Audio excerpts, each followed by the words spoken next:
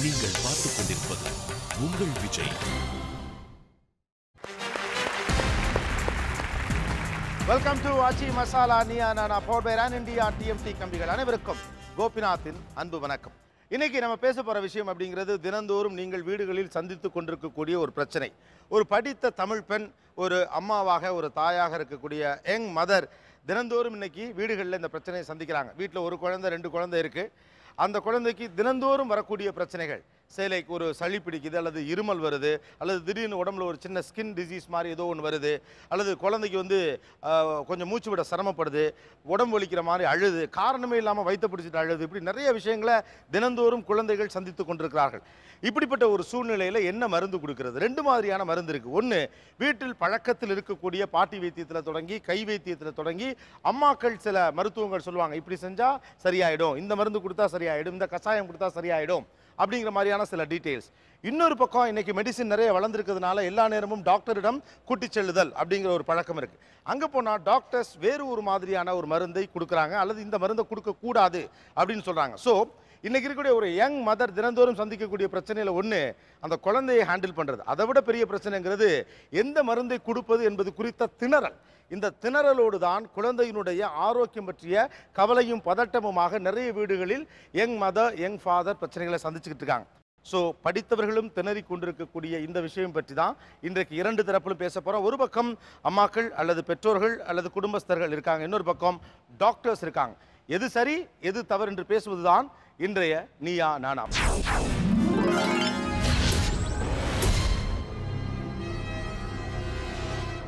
முதல்ல நான் பொதுமக்கள் கிட்ட இருந்தே வரேன்னு நினைக்கிறேன். குறிப்பாக பெண்களிடமிருந்து. என்னென்ன சின்ன சின்ன விஷயங்களுக்கு அல்லது ஒரு சளி இந்த மாதிரி என்னென்ன என்னென்ன நோய்களுக்கு என்னென்ன மருந்துகள் கொடுக்கலாம்? இப்போ குழந்தைங்களுக்கு முக்கியமாக ஏதாவது ஒரு எண்ணத்துக்காக அழறதுன்னு கூட தெரியாமல் அழுவுங்க. அப்படி அழும்போது என்ன பண்ணுவோம்? குழந்தைக்கு நல்லெண்ணெய் எடுத்து தொப்புளில் வச்சு கொஞ்சம் அரைக்கிட்டு கொஞ்சம் சுடு தண்ணி வார்ம் வாட்ரு ஓமம் அதில் போட்டு கொஞ்சம் கொதிக்க வச்சு வடிகட்டி கொடுத்தோம்னா அந்த வயிற்று வலியாக இருந்தாலும் சூடாக இருந்தாலும் ஜீரணம் ஆகாதனாலும் சரியாயிடும். சரியா தென் பக்கத்துல. சில சமயம் குழந்தைங்க வந்து மோஷன் போகிறதுக்கு கஷ்டப்படுவாங்க. இல்லை ரெண்டு மூணு நாள் தொடர்ந்து போகாமல் கூட இருப்பாங்க. அது அப்படி இருக்கிற பட்சத்தில் திராட்சை பழத்தை ராத்திரி எந்த திராட்சையாக இருந்தாலும் சரி காஞ்ச திராட்சை பெருசாக இருந்தாலும் சரி சின்னதாக இருந்தாலும் சரி ராத்திரி ஊற வச்சுட்டு அடுத்த நாள் காலையில் அந்த திராட்சை ரசத்தை பிரி பிழிஞ்சு கொடுத்தா definitely the child. Pass motion ஆமாம். கண்டிப்பாக சரியாயிடும் குட் பின்னால. சின்ன குழந்தை பிறந்ததும் பத் பதினோரு நாள் அது மாதிரி ஜலம் கொட்டிடுவாங்க. தலைக்கு குளிப்பாட்டுவாங்க. அப்படி தலை குளிப்பாட்டின போது ஒரு சின்ன மருந்து இருக்குது ஜாதிக்காய் சுக்கு சித்திரத்தை மாசிக்காய் இது நாளையும் பாலில் வேக வச்சு வெளியில் எடுத்து வச்சு காய வச்சு வச்சுக்கணும். ஒரு டப்பாவில் வச்சுன்ட்டு கு- என்னன்னைக்கு தலைக்கு குளிப்பாட்டுறோமோ அன்னைக்கு இந்த ஒவ்வொன்றையும் ஒவ்வொரு இழை சந்தனக்கல்லில் இழைச்சி அந்த விழுதை எடுத்து தாய்ப்பாலில் கலந்து சங்கில் வச்சு போட்டிடணும். குளிப்பாட்டின உடனே. இதை உர மருந்துன்னு உரம் சொல்லுவாங்க. ஓகே. எங்கள் வீட்டில் பாட்டி வந்து எல்லா பசங்களுக்கு முதல்ல ஆஹ், எழுந்திரிச்ச உடனே துளசி போட்டு தண்ணி போட்டு ரசம் பண்ணி அது கொடுப்பாங்க. காலையிலே. காலையில். முதல்ல ஃபஸ்ட்டு பாத்ரூம் லெட்டின் அந்த முடிஞ்ச உடனே இது கொடுப்பாங்க. அது மட்டும்தான் டெய்லி த்ரீ இயர்ஸ் கண்டிப்பாக கொடுப்பாங்க. பசங்களுக்கு நிறைய நேச்சுரலாக வந்து சர்வரோக நிவாரணின்னு சொல்லுவாங்க துளசியை. அதனால அது மொ- முதல்ல யூஸ் பண்ணுவாங்க.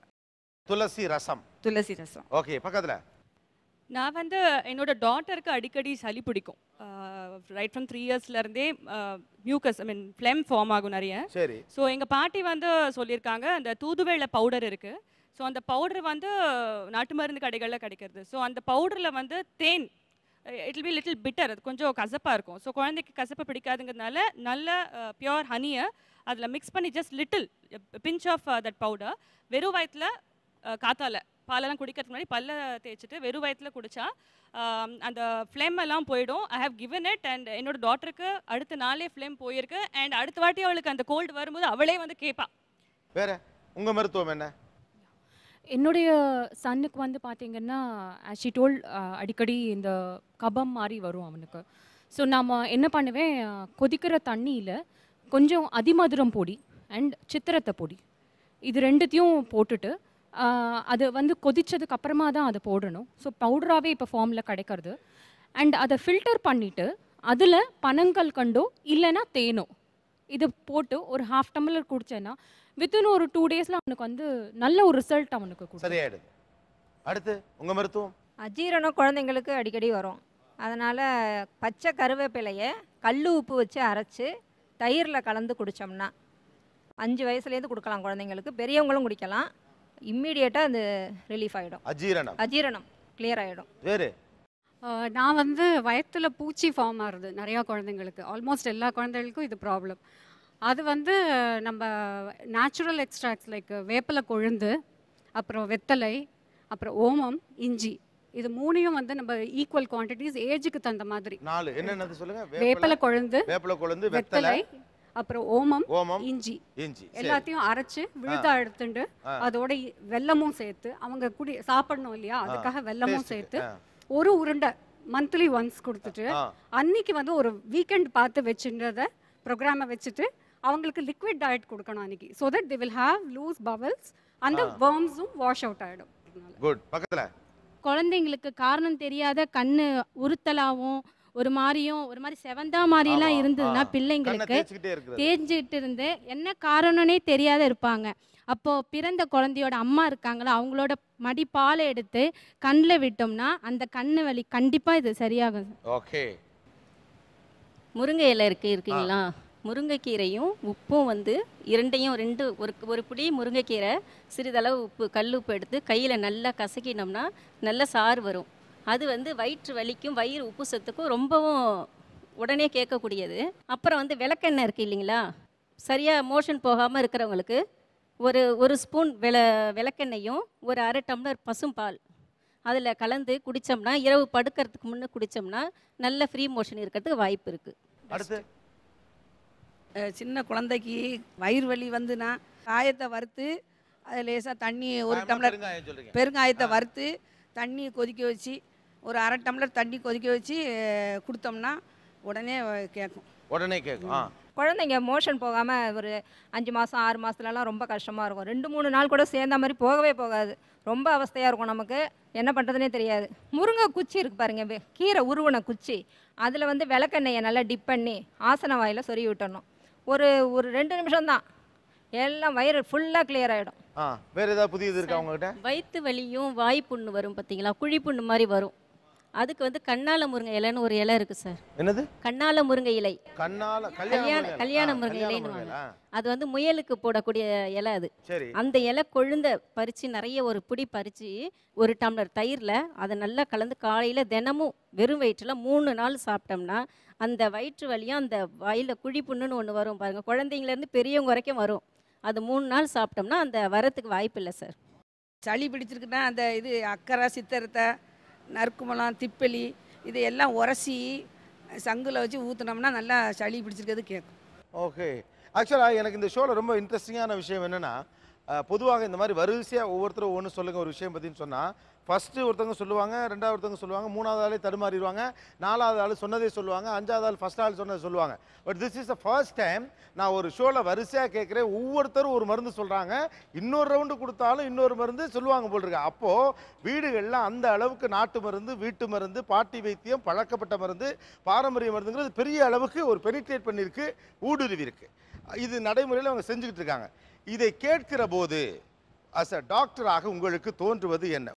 இந்த ஆசன வாயில குச்சியை நுழைக்கிறது இல்லை எதுவுமே செய்யக்கூடாது. அது வந்து ப பர்டிகுலராக வந்து பிறந்த குழந்தைகள் ஆறு சின்ன குழந்தைகளுக்கு வந்து நிறைய பிரச்சனைகள் ஈவன் இன்ஃபெக்ஷன் எதுனாலும் பெர்ஃபரேஷன் சொல்லலாம் துளை சின்ன ப்ராப்ளம்ஸ் எதுனாலும் வரலாம். பாட்டி வைத்தியம்னா நிறைய பிரச்சனைகள் தான் வருது. அது இதுலேருந்து தெரியுது ஆக்சுவலி வேறு எதை எதெல்லாம் அபத்தமானது ஆபத்தானது?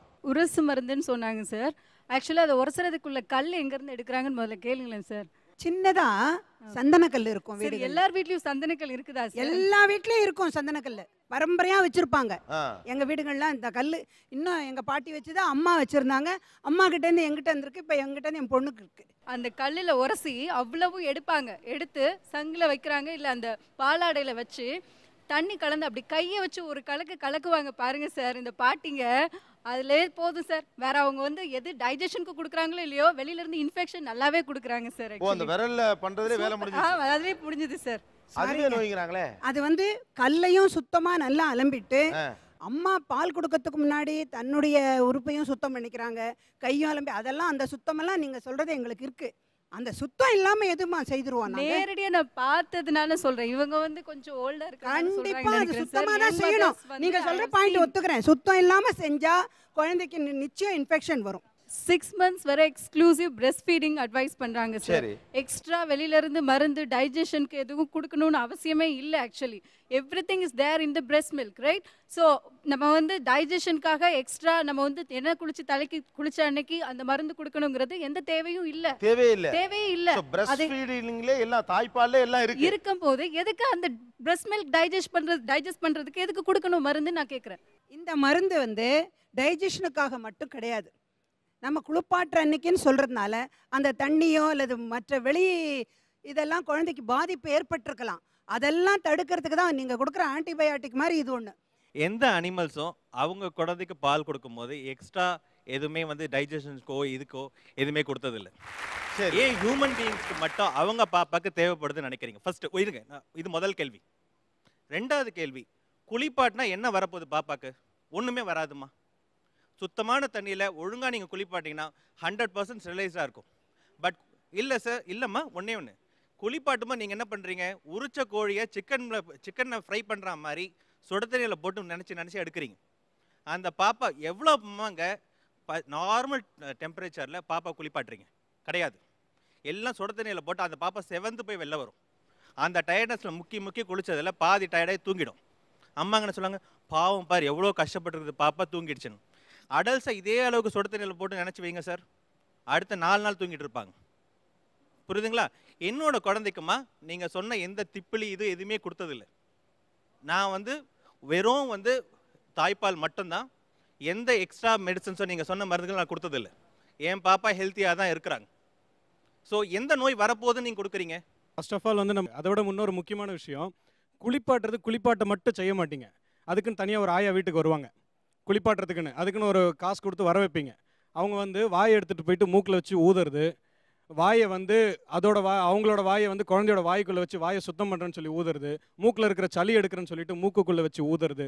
இதெல்லாம் தேவையில்லாமல் பண்ணுறதுனால தான் அந்த பாப்பாவுக்கு தேவையில்லாத பிரச்சனைகளே வருது. குழந்தையோட குடல் வந்து முதல் ஆறு மாதத்திற்கு தாய்ப்பால் மட்டும்தான் செரிக்க முடியும். நம்ம தாய்ப்பால் பெஸ்ட்டு ஒத்துக்கிறோம். ஆனால் என்னக்கா அந்த தாய்ப்பால் கொடுக்குற அம்மா இருக்காங்க இல்லையா? அவங்களுக்கு வந்து முன்ன மாதிரி பத்தி சாப்பாடு கிடையாது.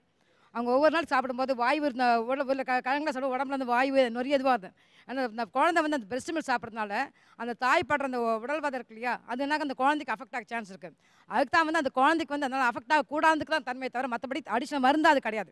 குழந்தைக்கு ஜீரணிக்க முடியாது சார் வேறு எதுவும் கொடுத்தா உள்ள ஜீரணம் ஆகாது சார் ஜீரணிக்கிற சக்தி அந்த குடலுக்கே கிடையாதுங்க. தமிழ்நாட்டில் சில விஷயங்களுக்கு உடனடியாக பதில் கிடைக்காது. ஆனால் இந்த நிகழ்ச்சியை பொறுத்த வரைக்கும் ஒவ்வொருத்தரும் குழந்தைக்கு நீங்கள் ஃபாலோ பண்ணக்கூடிய மருத்துவ முறையை சொல்லுங்கள்ங்கிறப்போ எல்லா பெண்களாலும் ஒன்றை சொல்லிவிட முடிகிறது. அப்படி இருக்குன்னு பார்த்தா தமிழகம் முழுவதும் இப்படி வீட்டு வைத்தியம் என்பது தொடர்ந்து பாரம்பரியமாக நடந்து கொண்டிருக்கிறது என்பதை புரிந்து கொள்ள முடிகிறது. இந்த மாடர்ன் மருத்துவம் இதை எப்படி பார்க்கிறது? பேசுவோம் இடைவேளைக்கு பிறகு. இது ஆட்சி மசாலா அணியா Naana power by Ran India TMT கம்பிகள். நீங்கள் பார்த்துக் கொண்டிருப்பது உங்கள் Vijay. Welcome back to Aachi Masala Neeya Naana power by Ran India TMT கம்பிகள். ஒரு பக்கம் நாட்டு வைத்தியம் வீட்டு வைத்தியம் எங்களுக்கு பலன் அளிக்கிறது. அதன் மீது எங்களுக்கு நம்பிக்கை இருக்குது என்று சொல்லக்கூடிய குடும்ப தலைவிகள் மறுபக்கம் ஆபத்தான வேலையை தெரியாமல் செய்து கொண்டிருக்கிறார்கள். ஐயோ பாவம் என்று சொல்லுகிற மருத்துவர்கள் தொடரலாம். உங்களுக்கு தெரிந்த குழந்தைக்கான வைத்தியம் மருந்து. வெந்தயம் ஒரு கால் ஸ்பூன். அதாவது கொஞ்சம் ஜீரண சக்தி கம்மியாக உள்ளவங்களுக்கு அதை அரைச்சி விழுதாவோ. இல்லை இன்னும் கொஞ்சம் ஜீரண சக்தி உள்ளவங்களுக்கு அது ஊற வச்சோ இல்லை அதுவும் இல்லைனாக்கா பச்சையாவோ ஒரு அரை ஸ்பூன். கொடுத்துட்டு பச்சை தண்ணியை கொடுத்து குடிக்க சொல்லிடலாம். உடனே கொஞ்சம் ஒரு விளக்கெண்ணெய் எடுத்து தொப்புள் சுற்றி தடவினாக்க இம்மீடியட்டாக அந்த வயிற்று வலியிலேருந்து ஓரளவுக்கு ரிலீஃப் இருக்கும். ஸோ இது ஒரு நல்ல கை. கண்ட மருந்து. இந்த நிகழ்ச்சியை பார்த்து கொண்டிருக்கக்கூடிய எல்லாருக்கும் நீங்கள் சொல்லக்கூடிய இந்த மருத்துவங்கள் பயன்படலாம். அதுக்காக தான் நான் ஒவ்வொருத்தரும் ஒவ்வொன்று நீங்கள் ஃபாலோ பண்ணிட்டு இருக்கிறத சொல்ல சொல்கிறேன் அவங்கள்ட்ட கொடுங்க அடுத்தது. மோஸ்ட்லி குழந்தைகள் வந்து இந்த வயிற்று வலியால் சின்ன குழந்தைங்க அவஸ்தை நமக்கு எதுக்காக அவங்க அழறாங்கன்னு தெரியாது. சரி. பட் அமுக்கி பார்த்தா தெரியும். சரி இதனால இருக்கலாம்னு சொல்லிட்டுன்னு. அப்போ என்ன பண்ண வசம்பு இருக்கு. அந்த வசம்பை என்ன பண்ணனாக்கா விளக்கெண்ணெயில் விளக்க ஏற்றி அதில் வந்து சுட வைக்கணும். நல்லா கருப்பாக ஹீட் பண்ணலாம். ஹீட் பண்ணிவிட்டு இந்த உரக்கல் சின்ன சந்தன மாதிரி சின்னதாக இருக்கும். அப்படி அது முடியாதவங்க என்ன பண்ணனாக்கா வசம்பை வந்து துண்டு துண்டு பீஸ் பீஸாக ஆக்கிட்டு இந்த வானிலை இருக்குல்ல வீட்டில் அதில் வானிலை வந்து நல்லா வந்து இது பண்ணலாம். கருப்பாக வறுத்துடலாம். நல்லா பவுட்ரு பண்ணணும். பவுட்ரு பண்ணிட்டு அது கூட என்ன பண்ண வெறுமை சலிக்கக்கூடாது. இந்த துணி இருக்கும் நல்ல காட்டன் துணி மாதிரி இருக்கும். ஏன்னா பிள்ளைங்களுக்கு வந்து சின்ன சின்ன பீஸ் பண்ண தொண்டையில் மாட்டிக்கும். சரி. அதில் சாஃப்ட்டு அது வரும்படி அந்த பவுடர் வரும்படி அது நல்ல அந்த மல் துணி மாதிரி இருக்கும். அதில் அப்படியே பண்ணோம்னாக்கா அது வஸ்திரகாயம்னு சொல்லுவாங்க. சரி. அது மாதிரி பண்ணால் அந்த பவுடர் வந்துடும் அந்த பவுடரை எடுத்து வச்சுட்டு அதில் கொஞ்சம் ஹனி தேன் கொஞ்சம் போட்டு அப்படியே என்ன பண்ணோன்னா குழச்சி அது நாக்கில் தடவலாம். இல்லைனாக்கா அம்மாவோட தாய்ப்பால் இருக்கும் இல்லையா? அந்த ஸ்பூனில் ஒரு ஜஸ்ட் ஒரு ஒரு பிஞ்சு போட்டு அந்த தாய்ப்பால் விட்டு அதை மிக்ஸ் பண்ணி கொடுக்கலாம். அப்படி அந்த வசம்பை வந்து தொப்புல சுற்றி நம்ம என்ன பண்ணலாம்னாக்கா அது. தடவிட்டோம். விளக்கண்ணை கொஞ்சம் விட்டு அப்படியே தடவிட்டோம்னாக்கா அந்த. வயிற்று வலி இது வரும். அதுக்கு பிள்ளை வளர்ப்பான பேர் வசம்புக்கு. கொஞ்சம் குழந்தை பெரிய பிள்ளை ஆயிடுச்சு ஒரு ஃபைவ் இயர்ஸ் ஃபோர் இயர்ஸ் அந்த மாதிரி ஆகிற காலத்தில் ஸ்கூலுக்கு போகிற டைமில் அவங்களுக்கு ரொம்ப சளி பிடிச்சிருக்கு. ரெகுலராக கொடுக்கணும் அப்படின்னா பாலில் வந்து மிளகுப்பொடி மஞ்சள் சேர்த்து கலந்துட்டு டெய்லி காலையில் ஒரு ஆஃப் ஒரு ஆஃப் டம்ளரும் ஈவினிங் ஒரு ஆஃப் டம்ளர் கொடுத்தாலே அந்த நெஞ்சு சளி போயிடும். ஜீனி போடுறதுக்கு பல பனங்கள் கண்டு சேர்த்துக்குவாங்க எங்கள் ஊர் சைடெல்லாம். ஓகே. எந்த எந்த ஊர் நீங்க திண்டுக்கல் சைடு. திண்டுக்கல். பனங்கள் கண்டு சேர்த்துட்டா இன்னமும் இன்னும் குணமாகும். அதுக்கப்புறம் அது இல்லைன்னா தேங்காய் பால் வச்சு கொடுத்தோம்னா தேங்காய் பாலில் வந்து கொஞ்சோண்டு ஏலக்காய் தட்டி போட்டு பனங்கள் கண்டு ஆட் பண்ணி கொடுத்தோம்னா குழந்தைகளுக்கு எவ்வளோ சளி இருந்தாலும் சீக்கிரமாக விட்டுடும். ஓகே தென் குழந்தைகளுக்கு வந்து பேதியாகிற ஒரு பழக்கம் வரும். ஏதாவது சாப்பிட்ருவாங்க அந்த மாதிரி இருக்கும்போது. அது வந்து உடம்பு சூடானா கூட அந்த மாதிரி இருக்கும். அதுக்கு வந்து ஜவ்வரிசி இருக்குல்ல.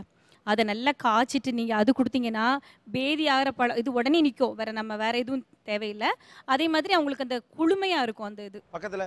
அஞ்சு வயசு ஆறு வயசு குழந்தைங்கள்லாம் ஸ்கூலுக்கு போயிட்டு வருவாங்க இது பண்ணுவாங்க. அப்போ கையில் ஏதாவது குத்திக்கிட்டோ இந்த நகத்துல எல்லாம் வலி வலின்னு சொல்லிட்டு இருப்பாங்க. சொல்லும்போது நம்ம என்ன செய்யணும்? கொஞ்சம் மஞ்சள் பொடி கஸ்தூரி மஞ்சள். மஞ்சள் பொடி எடுத்து கலந்து அதில் நைட் படுக்கும்போது கையில் போட்டுட்டோன்னா அந்த வலியெல்லாம் ஒன்றும் தெரியாது. காலையில் எழுந்து பார்த்தா அது சரியாக படுத்துனா விட்டுடலாம். அது சம்டைம்ஸ் வந்து பூரிச்சுட்டு பெருசாக வரும். நகைச்சுத்தி மாதிரி. வரும்போது அதுக்கு வந்து அரிசி மாவும் மஞ்சள் கஸ்தூரி மஞ்சளையும் சேர்த்து போட்டு கட்டிட்டோன்னா அது ரெண்டு மூணு நாள் கட்டணும். அந்த குழந்தைக்கு பழுத்து அது ஆட்டோமேட்டிக்காக வந்துடும் அது. குழந்தைங்க ஒரு மூணு மாதத்துலேருந்து ஒரு அஞ்சு மாதம் வரைக்கும் கழுத்து நிற்காது அந்த குழந்தைங்களுக்கு.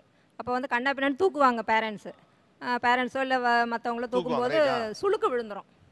அது வந்து உரம் விழுந்துருதுன்னு சொல்லுவாங்க. அதை வந்து டாக்டர்ஸ் கிட்ட எல்லாம் கொண்டு போக முடியாது நம்ம. கை வைத்தியம் தான் பண்ணியாகணும். கையில் தரிக்காமல் அழும் அந்த குழந்தை.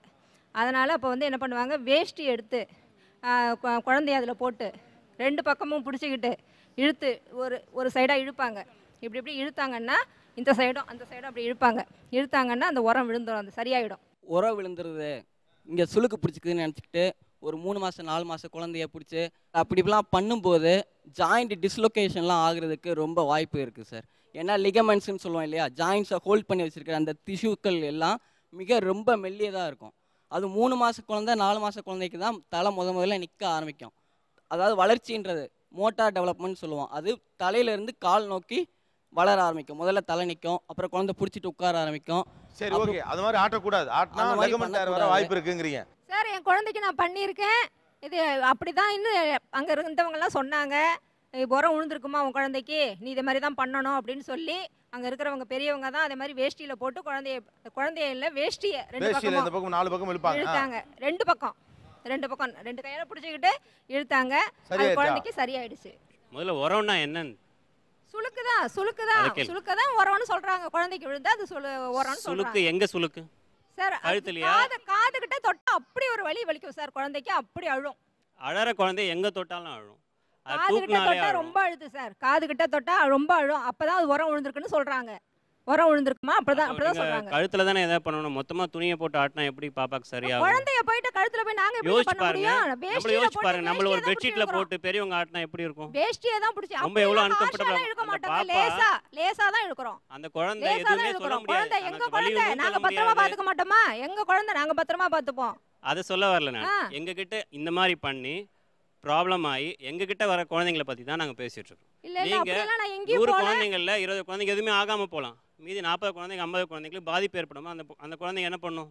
அது வரும்போது அதிகமாக என்னென்னவோ மேனிப்புலேட் பண்ணி வலி தாங்க முடியாமல் அழுது அழுது சோர்ந்து போயிட்டு டீஹைட்ரேட் ஆகிட்டு அந்த டைமில் அவங்க பாலும் கொடுக்க போகிறது கிடையாது. ஆப்வியஸ்லி ஹைப்போகிளைசிமியா போயிடும். இது கண்டிப்பாக கெடுதி தான் இந்த முறை. இல்ல இதனால என்ன ஆகும்? என்ன பிரச்சனை? என்ன ஆபத்து இருக்கு இதுல? கண்டிப்பாக எல்லா ஜாயின்ஸ்லையும் எது நார்மலாக மூவ்மெண்ட் இருக்கணும் அதோட அப்நார்மலாக மூவ்மெண்ட் இருக்குது அதிகப்படியாக மூவ்மெண்ட் இருக்கும்.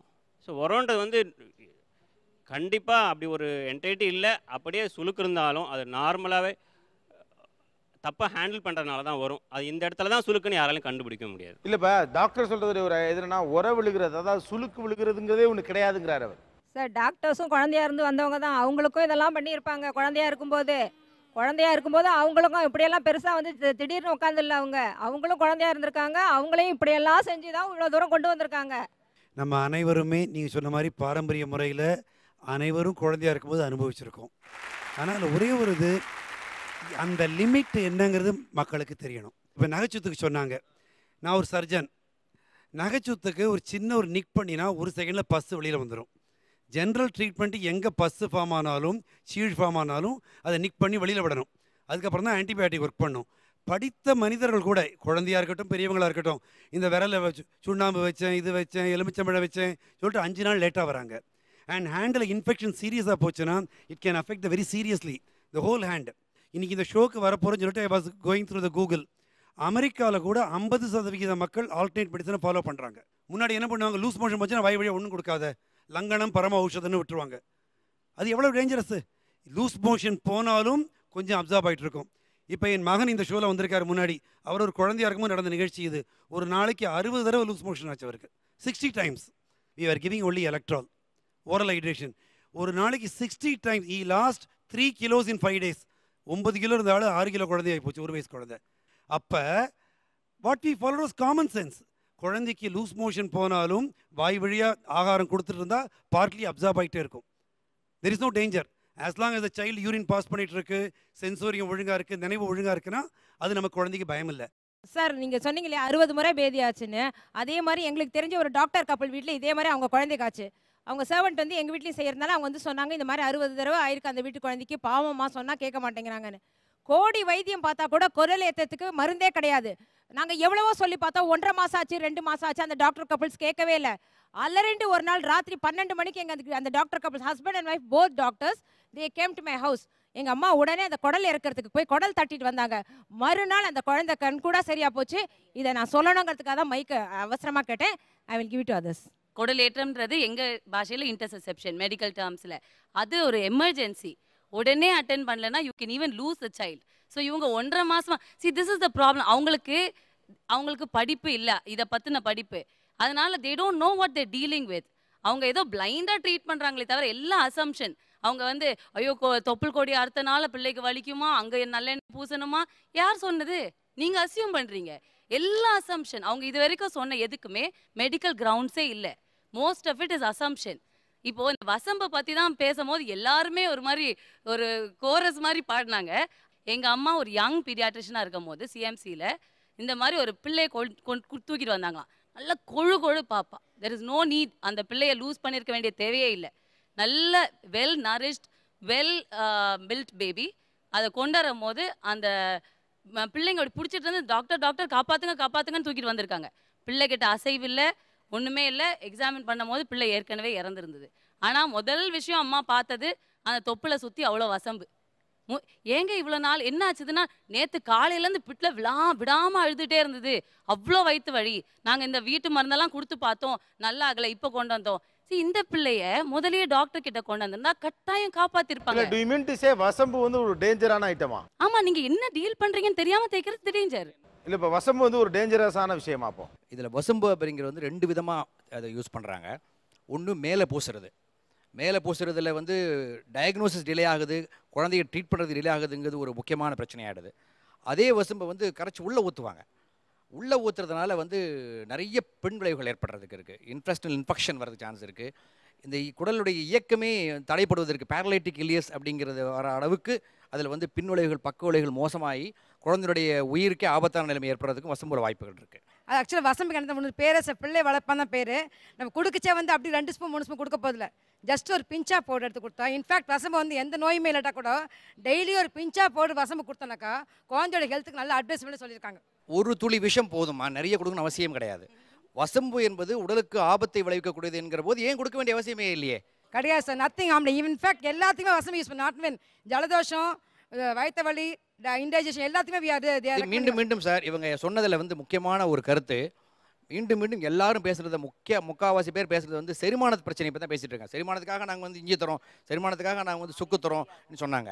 இப்போ நீங்கள் நல்லா யோசிச்சு பார்த்தீங்கன்னா செரிமானத்துக்கு என்று இவர்கள் ரெக்கமெண்ட் பண்ணியிருக்கிற உன் இன்கிரீடியன்ஸ் எல்லாம் பார்த்தீங்கன்னா எல்லாமே வந்து சுக்கு பெருங்காயம் இஞ்சி எல்லாமே காரப்பொருட்கள். அத்தனையும் நீங்கள் வந்து எல்லாத்தையும் கரைச்சி டெய்லி குடிச்சு பாருங்கள் நம்ம குடித்தாலும் நமக்கு கேஸ்ட்ரைட்டிஸ் வந்து வயிற்று வலி வந்துடும் அப்படிப்பட்ட ஒரு கஷாயத்தை எல்லாத்தையும் கலந்து குழந்தையினுடைய இன்டெஸ்டினல் சிஸ்டம் வந்து ரொம்ப வெல்வெட் மாதிரி மிருதுவான இன்டெஸ்டினல் சிஸ்டம் அந்த இன்டெஸ்டினல்ஸை சேலஞ்ச் பண்ணுற மாதிரி டெய்லியுமே இவங்க வந்து இந்த மாதிரி ஒரு செரிமானத்துக்குன்னு இந்த காரப்பொருட்களை கலந்து ஊற்றுகின்ற பொழுது ஒன்று அந்த மிருதுவான இன்டர்னல் சிஸ்டம் வந்து ஒரு பாதிக்கப்பட்டு எரோஷன்ஸ் அல்சர் மாதிரி ஆகிறதுக்கு வாய்ப்புகள் இருக்குது அதனால் வயிற்று வலி வரதுக்கு வாய்ப்புகள் இருக்குது இன்டர்ஸ்னல் கோலிக்ஸில் நிறைய பார்க்குறோம். இரண்டாவது இந்த காரப்பொருட்களை ஊற்றுகின்ற பொழுது இந்த காரத்தினுடைய கடுமை தாங்காமல் குழந்தைகள் வந்து வாமிட் பண்ணும். அந்த காரம்ங்கிறது ஒரு வாமிட் உண்டாக்கும். அது ஆஸ்பிரேட் ஆகி லங்ஸில் போய் நிமோனியா கூட வரதுக்கு வாய்ப்புகள் இருக்குது ஆக்சுவலி அவர் சொன்ன பாயிண்ட் வசம் வந்து yes it's can be treat as foreign body it can be treat as a foreign body I accept வசம்ப வந்து we should not use it extensively as இவங்க சொன்ன மாதிரி எக்ஸ்டென்சிவ் யூஸ் பண்ணக்கூடாது. பட் மற்ற இந்த இஞ்சி சாறு இந்த சுக்கு யூஸ் பண்ணுறது இதெல்லாம் வந்து வி கேன் என்கரேஜ் ஒரு அவசரத்துக்கு ஒரு நாள் கொடுக்கறதுங்கிறது வேற. தினந்தோறும் ஒரு குழந்தைக்கு செரிமானத்துக்காக வேண்டி இந்த காரப்பொருட்களை ஊற்றுறதுனால விரைகள் நான் சொன்னேன். சார் உணவில் வந்து அறுசுவை உணவுன்னு ஒன்று இருக்குது சார். பாட்டி வைத்தியம் அறுசுவை ஆறு சுவையும் சேர்ந்து இது பெஸ்ட் இந்த உலகத்திலே இருக்கிற பெஸ்ட் மெடிசன் வந்து பாட்டி வைத்தியம் தான் அறுசுவை ஆறு சுவையும் கொடுத்தால் தான் உடம்புல நல்லா இருக்கும் அப்படின்னு சொல்கிறாங்க புரியுதுங்களா? ஸோ அந்த ஆறு சுவையும் சேர்த்து கொடுக்கறதா இந்த பாட்டி வைத்தியம். சார் அந்த ஆறு சுவை குழந்தை தாங்காதான் நாங்கள் சொல்றோம். குழந்தை சார். சொல்லல. கண்டிப்பா குழந்தையினுடைய குழந்தையுடைய மிளகு சாப்பிட்றனால. அதுக்கு அளவு இருக்கு. அதாவது ப்ரொபோஷனேட்டாக கொடுக்கணும். டைல்யூட்டடாக கொடுத்தா ஒன்றும் ஆகாது sir. There is a dilution டைல்யூட்டடாக கொடுத்தா ஒன்றும் ஆகாது. Nothing happen. Where is the point of evolution sir when it is not at all necessary அது தேவையே இல்லை என்கின்ற பொழுது தேவையில்லாத ஒரு பொருளை குழந்தையின் உடல்நிலை ஊறு விளைக்கக்கூடிய ஒரு பொருளை சில சமயங்களில் உயிருக்கே ஊறு வைக்கக்கூடிய பொருளை நாம் ஏன் உபயோகப்படுத்த வேண்டாம்? அதான் சாறு உயிர் விளைவிக்கும்னு சொன்னா யார் சார் நம்புவா? ஆஸ்பிரேஷன் சார் பேசுறீங்க? ஆஸ்பிரேஷன் நிமோனியா பார்த்திருக்கேன் சார் நானு. அது வசம் கொடுத்தா வசம்னால ஆஸ்பிரேஷன் ஆகுது. காரப்பொருட்கள் தூங்கும் போது சார். கொடுக்க கூடாது யாரும் தூங்கும் போது குழந்தைய கொடுக்க மாட்டாங்க. பாட்டியை நல்லா பாட்டி தான் சார் குழந்தைய நல்லா பார்த்துப்பாங்க டாக்டர்ஸை விட. சார் நம்ம kitchen kitchen is the clinic sir நம்ம வந்து ஒரு நர்சிங் ஹோம் போகணுங்கிற அவசியம் கிடையாது ஒரு ஹாஸ்பிட்டல் போகணும்னு அவசியம் கிடையாது. வீட்டில் இருக்கக்கூடிய கிச்சன் தான் கிளினிக் சமையலறை தான் கிளினிக்கே சார் மூலப்பொருட்கள் அறுபது மூலப்பொருட்கள் இருக்கு. அந்த அறுபது மூலப்பொருட்களை நாற்பது மூலப்பொருட்கள் நம்முடைய கிச்சனில் இருக்கு. மிளகு அஞ்சல் அஞ்சலை பெட்டி உங்களுக்கு தெரி- தெரியுங்களா? நீங்க சொல்வது எனக்கு புரிகிறது. அஞ்சரை பெட்டிங்கிறது ரொம்ப முக்கியமான விஷயம் தான் அது அடுப்பறையில் பெண்கள் சமைப்பதற்கு யூஸ் பண்ணுது குழந்தைக்கு கொடுப்பதற்காக குழந்தைகளுக்காக உருவாக்கப்பட்டது குழந்தையை அல்ல. நன்றாக பார்த்துக் கொள்ள வேண்டும் என்பதற்காகத்தான் அந்த அஞ்சரை பெட்டி தாய் வீட்டு சீதமாக கொடுத்தார்களே தவிர கண்டிப்பாக அதற்காக அல்ல. இப்போ இவங்க பேசுனதுல யாரு பேசுனதுக்கு நீங்க பதில் சொல்ல விரும்புறீங்க? உர விழுந்ததுங்க சார் உரை உர விழுகிறது அது வந்து அதை காதை தொட்டால் சரியாக போகுங்குது காதில் இன்ஃபெக்ஷன் இருந்தாலும் அது அழுத்தம் செய்யும். அதே மாதிரி வயிறு வீங்குச்சுன்னா இப்போ எங்கள் ஊர் சைட்லலாம் வயிறு வலி வயிறு வீக்கம் அப்படி இருந்தால் இந்த மாதிரி போட்டு உருட்டுவாங்க. அதே மாதிரி அது எதுக்கு அழுகுதுன்னே தெரியாது. இவங்க போட்டு உருட்டிட்டு வருவாங்க. ஆஸ் எ அனாட்டமிஸ்ட் இந்த மாதிரி உருட்டுறதுனால எந்த விதமான பலனும் கிடையாது. கூடத்தையும் செய்யுமே வழிய குறையாது. சார் நீங்கள் வந்து ஒரே ஒரேன்றீங்க. ஒரேன்னா குழந்தைங்கள தூக்குவாங்க தெரியுமா? ஒவ்வொருத்தர் தப்பாக தூக்கிடுவாங்க. அதனால குழந்தைகளுக்கு அந்த வலி வரும். அந்த வலியில தான் குழந்தைங்க அழுவாங்க. அப்போ அந்த மாதிரி சொன்ன மாதிரி என் குழந்தைங்களையும் போட்டு அப்படி உருட்டிருக்கோம் அது சரி ஆயிருக்கு ஸோ ரெண்டாவது நீங்கள் சந்தனக்கல் சும்மா எல்லா வீட்லையும் நீங்க சும்மா விட்டாலே சரியாயிரும். இல்ல இல்ல அது தூக்கத்துல நீங்க உடம்பு வேண்டியதில்ல. அழுவாங்க குழந்தைங்க. நீங்க ஒண்ணுமே செய்ய வேண்டியதில்லை. இன்னொன்னு அழுறது சொல்றேன். காதுல கை வச்சாலும் காது வலின்னா காது கிட்ட கை போகும். அந்த குழந்தைங்களுக்கு சொல்ல தெரியாத ஆனா காது கிட்ட கை போகும். இன்னொன்னு வயிற்றுலன்னா அந்த குழந்தைங்க அழுறது வித்தியாசமா தெரியும். இன்னொன்னு குழந்தை தூக்குனாலே வெயிட்டா இருக்கும். அதுக்கு தான் மந்தோன்னு சொல்லிட்டு அவங்க மருந்து ஊத்துவாங்க. நீங்க சொல்றீங்கல்ல மந்தம் எங்க கிராமத்துல நான் திருநெல்வேலி டிஸ்ட்ரிக்ட் தான் டெய்லி மருந்து ஊத்துவாங்க டெய்லி தலை குளிப்பாங்க. டெய்லி என் குழந்தைங்களுக்கு டெய்லி தலைக்கு ஊத்தி குளிச்சுட்டு நாங்க தான் நான் தான் மருந்து ஊத்துவேன். சென்னைக்கு கொண்டு வரும்போது இந்த சந்தனக்கெல்லாம் எனக்கு கிடையாது. ஓடு கொடுப்பாங்க. கிராமத்துல ஓடு தெரியும்ல சார் தர ஓடு. அது கொடுப்பாங்க. அதுல வச்சு எல்லாம் ஒரு வாட்டி தான் இழைப்பாங்க. நீங்க சொல்ல இஞ்சி சாரில் இவ்வளோ கொண்டு ஊத்த மாட்டோம். ஒரு இலை தான் அது. கரெக்டாக செங்கல வந்து ஒரு இவ்வளோ தான் இருக்கும். அதை தண்ணியில கரைச்சி என் பையன் இன்னைக்கு பெரிய பையனா இருக்கிறான். ஒரு நோய் நொடி நான் டாக்டர்கிட்ட போனது கிடையாது. டாக்டர்ஸ் வந்து ஒரு குழந்தைய ஒரு பார்க்கறது முறைங்கிறது வேற அல்லது உங்களுடைய அறிவில் அறிவு. ஆனால் ஒரு மதர் பக்கத்துல இருந்து அதை கவனிக்கிறப்போ அந்த இதே வேற. அப்போ ஒரு அம்மாவுக்கு தெரியும் தானே? அவங்க அதை ஃபாலோ பண்ணி சக்ஸஸ்ஃபுல்லாக இருக்கிறதுனால தானே செய்கிறாங்க அது வேஸ்டில் போட்டு உருட்டுனதுனால ஒண்ணுமே ஆக போறது கிடையவே கிடையாது. இல்லை இப்போ எனக்கு எனக்கு ஒரு நிமிஷம். ஒரு ஆள் சொல்லுங்க அல்லது யாராவது வாங்கி தெளிவாக சொல்லுங்க. ஒரை அப்படிங்கிற ஒன்று இருக்கா இல்லையா? இல்ல. ஒரேன்னு ஒன்று இல்லவே இல்லை. ஒரே ஒரு டாக்டர் மட்டும் தூக்காம இருக்கார் சந்தேகமா இருக்கா இல்லையா? உரன் முதல்ல வந்து என்ன விளக்கம் முதல்ல அவங்களுக்கு சொல்ல சொல்லுங்க. அதான் ரொம்ப நேரமா சொல்றாங்களே. மேல் வலியை வந்து உரன் சொல்றாங்களா? மேல் வலி நம்ம வந்து சொல்றோம். அதை அவங்க- வந்து உரன் சொல்றாங்களா? இல்ல வேற எதுவுமா? உரனா அந்த சின்ன பிள்ளைகள தூக்கச்சில அதை மாற்றி தூக்குவாங்க. சிலவங்க தெரியாமல் தூக்குறாங்க.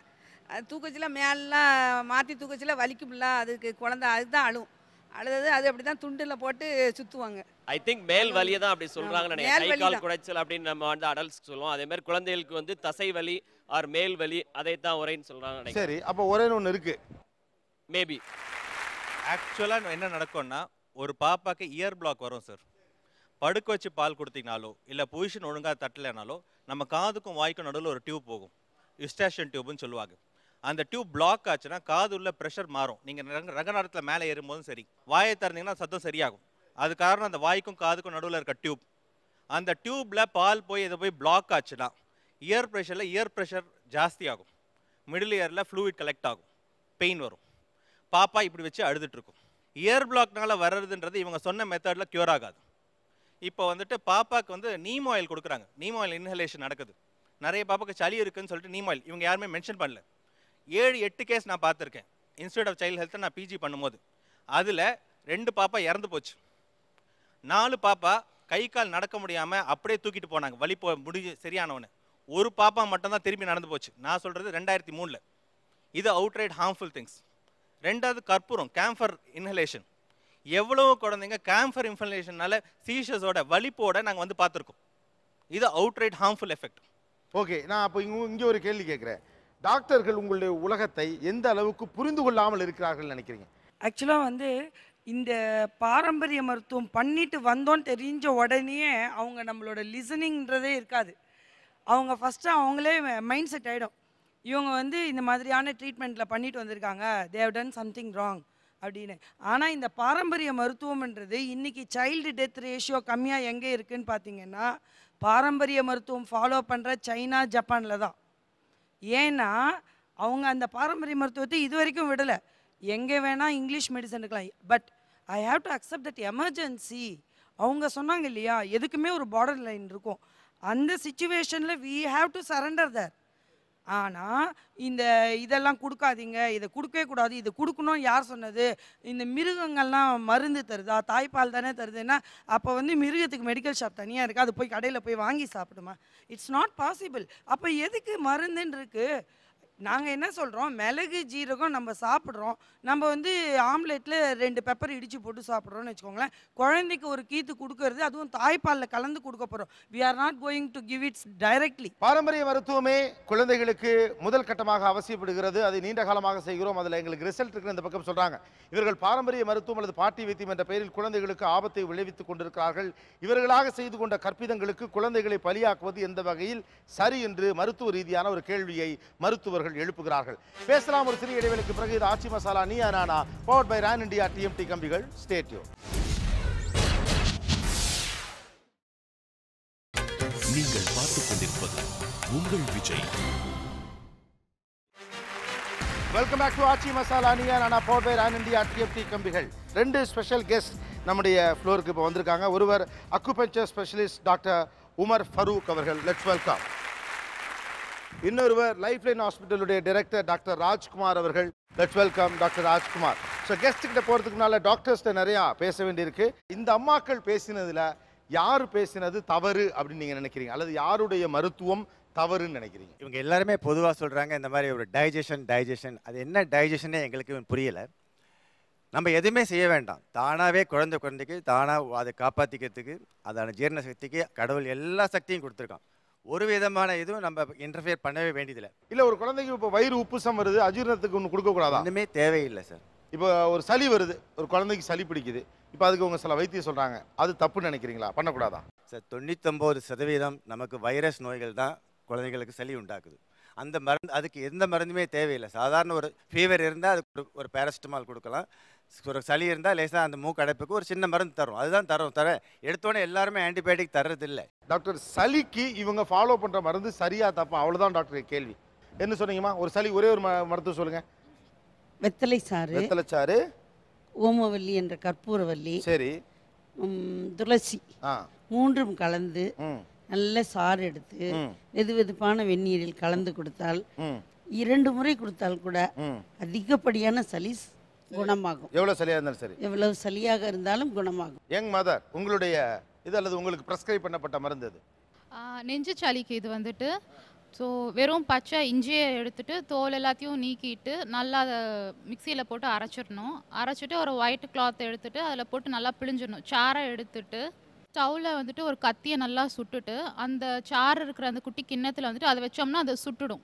சுட்டுட்டு அந்த பச்சை இதெல்லாம் முறிஞ்சு போயிடும். ஸோ முறிஞ்சதுக்கு அப்புறமா அதில் தேனை கலக்கி கொடுத்தோன்னா நெஞ்சு சளி எல்லாம் சரியாக போயிடும். சம்டைம்ஸ் அது வாமிட்டில் கூட ஃபுல் சளியும் வந்துடும் இல்லைன்னா மோஷன்லேயுமே வந்துட்டு அது வெளியே வர சான்சஸ் நிறையா இருக்குது இஞ்சி வித் ஹனி இது வந்து பேதி உண்டாக்குமா?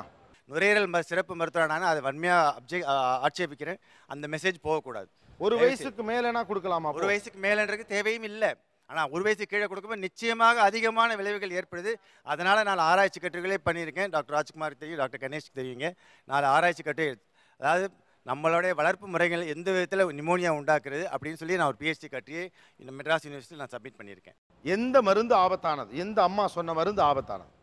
சார் ஆபத்தை விட அதில் முக்காவாசி மருந்து தேவையில்லாதது is what I am saying அது பிளாசிபோ எஃபெக்ட் அதை கொடுக்காமலே இருக்கலாம். ஓகே ஏன்னா எங்களை எங்களுக்கு டீச் பண்ணுறது எங்களோட மருத்துவத்திலேயே வைரல் இன்ஃபெக்ஷன்ஸ் முக்காவாசி செல்ஃப் லிமிட்டிங் அது தானா நல்லாகும். காமன் கோல்டு அது மாதிரி தான். அப்ப சளி பிடிச்சிருக்கு ஒரு குழந்தைக்கு அப்படின்னா ஆமா. ஒரு வாரத்துல தானா சரியாயிரும். ஆமா. அது ரொம்ப நேசல் கன்ஜெஷன் காஸ் பண்ணி ப்ரீத் பண்ண கஷ்டப்பட்டா வெறும் அதுக்கு மட்டும் கிளியர் பண்ணதுக்கு ஒரு மருந்து சோ. ஒரு வாரம் வரைக்கும் ஆன்டிபயோட்டிக் வேண்டாம். ஒரு வாரம் வரைக்கும் மருந்து கொடுக்க வேண்டியதுல உங்கள்கிட்டயே வர வேண்டியது வர வேண்டியது இல்ல ஓகே ஜுரம் வந்தா காமன் கோல்டுக்கு எங்கேயும் போக வேண்டியது. அது தானா போகும். ஒருவேளை காய்ச்சல் அடிச்சுச்சுனா அதுக்கு கட்டாயமா மருந்து கொடுக்கணும். ஏன்னா. ஏன்னா குழந்தைங்களுக்கு சீஜர் வர சான்ஸ் இருக்கு.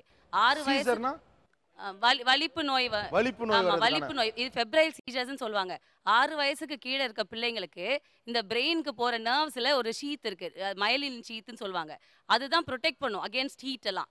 ஸோ அந்த டீம் அவங்க வந்து ஆறு வயசுல தான் this myelination gets complete so பிறந்ததுலேருந்து ஆறு வயசு வரைக்கும் அந்த ஹீட்னால அவங்களுக்கு they can throw a seizure வலிப்பு வரும்.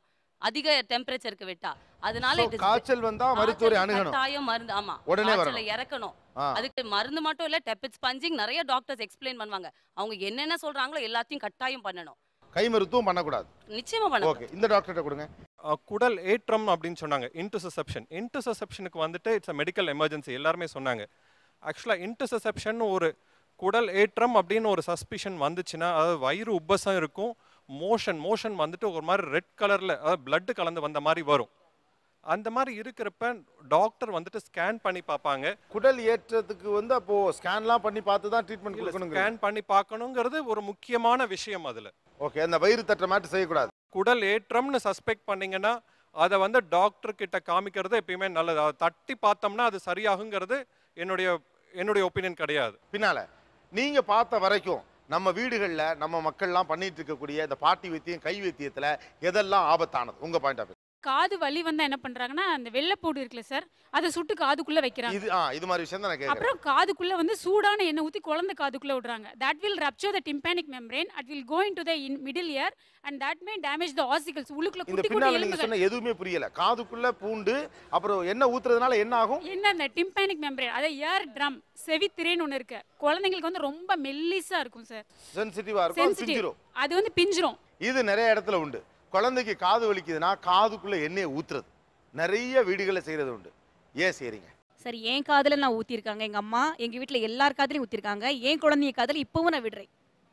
இப்போவும் நான் விடுறேன். அது லே. இப்போவும் நான் என் wrong. விடுறேன். ஆ?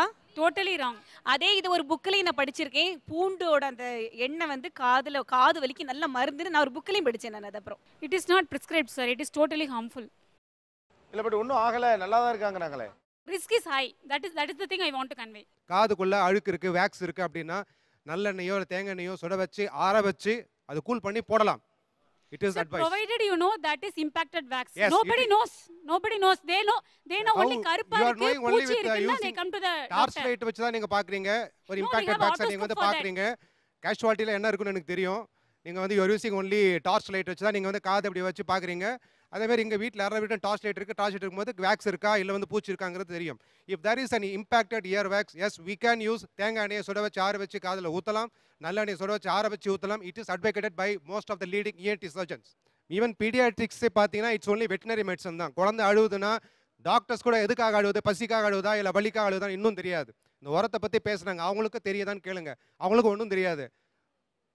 It's it is just like ஒண்ணும் தெரியாதுங்கிறாரு it's just like treating cows உரம்னா என்ன? Sir no such things exist ஆ? நோ சச் திங் எக்ஸிஸ்ட் அப்படி ஒரு இதே இதே கிடையாது. இல்லைம்மா உரம்னா என்னன்னு கேட்குறேன் உரம்னா they bring the child to the OP saying that வந்து குழந்தை அழுதுட்டே இருக்கு தட்ஸ் ஆல் பட் உங்களுக்கு உரம்னா என்னன்னு தெரியாது. தெரியாது. எனக்கு ஒன்றும் புரியல. உரம்ங்கிறது மெடிக்கல் ரீதியாக ஒன்று இல்லாமல் கூட இருக்கட்டும். ஆனால் உங்ககிட்ட வரக்கூடிய மக்கள் பயன்படுத்தக்கூடிய உரம்ங்கிற வார்த்தை தெரியாமல் நீங்கள் கிராமத்தில் ஒரு டாக்டர்னு எப்படி எனக்கு அது இல்ல புரியல சார் என்கிட்ட வந்தவங்க அது மாதிரி டிஃபைன் பண்ணதில்ல. நீங்கள் பார்த்த வரைக்கும் வீடுகளில் செய்யக்கூடிய எந்த மருத்துவம் தவறானதாக இருக்கிறது டேஞ்சராக இருக்குது விளக்கெண்ணெய் ஊற்றுவோன்னு சொன்னாங்க. குழந்தைகளுக்கு வந்து ரிஃப்ளெக்ஸ் ஆக்ஷன் அந்த நம்ம ரிஃப்ளெக்ஸ் ஆக்ஷன் இருக்கும். அது வந்து சரியாக வளர்ச்சி இருக்காது அந்த குழந்தைங்களுக்கு. அதனால ரீகர்ஜிடேட் ஆகி அது மூச்சு குழாய்க்குள்ளே போய் மூச்சு திணறல் வந்துடும் இல்லை குழந்தைகளுக்கு கொடுப்பாங்களே பொதுவாக விளக்கெண்ணெய் குடிக்கக்கூடாதா குழந்தை? குழந்தைகளுக்கு விளக்கெண்ணெய் கொடுப்பது வந்து முற்றிலும் தேவையில்லாதது அவசியமில்லாதது கூடவும் கூடாது. ஏன்னா விளக்கெண்ணெய் வந்து ஒரு லாக்ஸட்டிவ் விளக்கெண்ணெய் வந்து இன்டெஸ்டினல் மூமெண்ட்ஸை இன்க்ரீஸ் பண்ணி மோஷனை ஃப்ரீயாக பண்ணுறதுக்கு ஒரு ஆக்ஷன் பண்ணுது. குழந்தைகளுடைய இன்டெஸ்டின்ஸு சாதாரணமாக அது என்ன மூமெண்ட் பண்ணதோ அதுதான் செய்யணும்.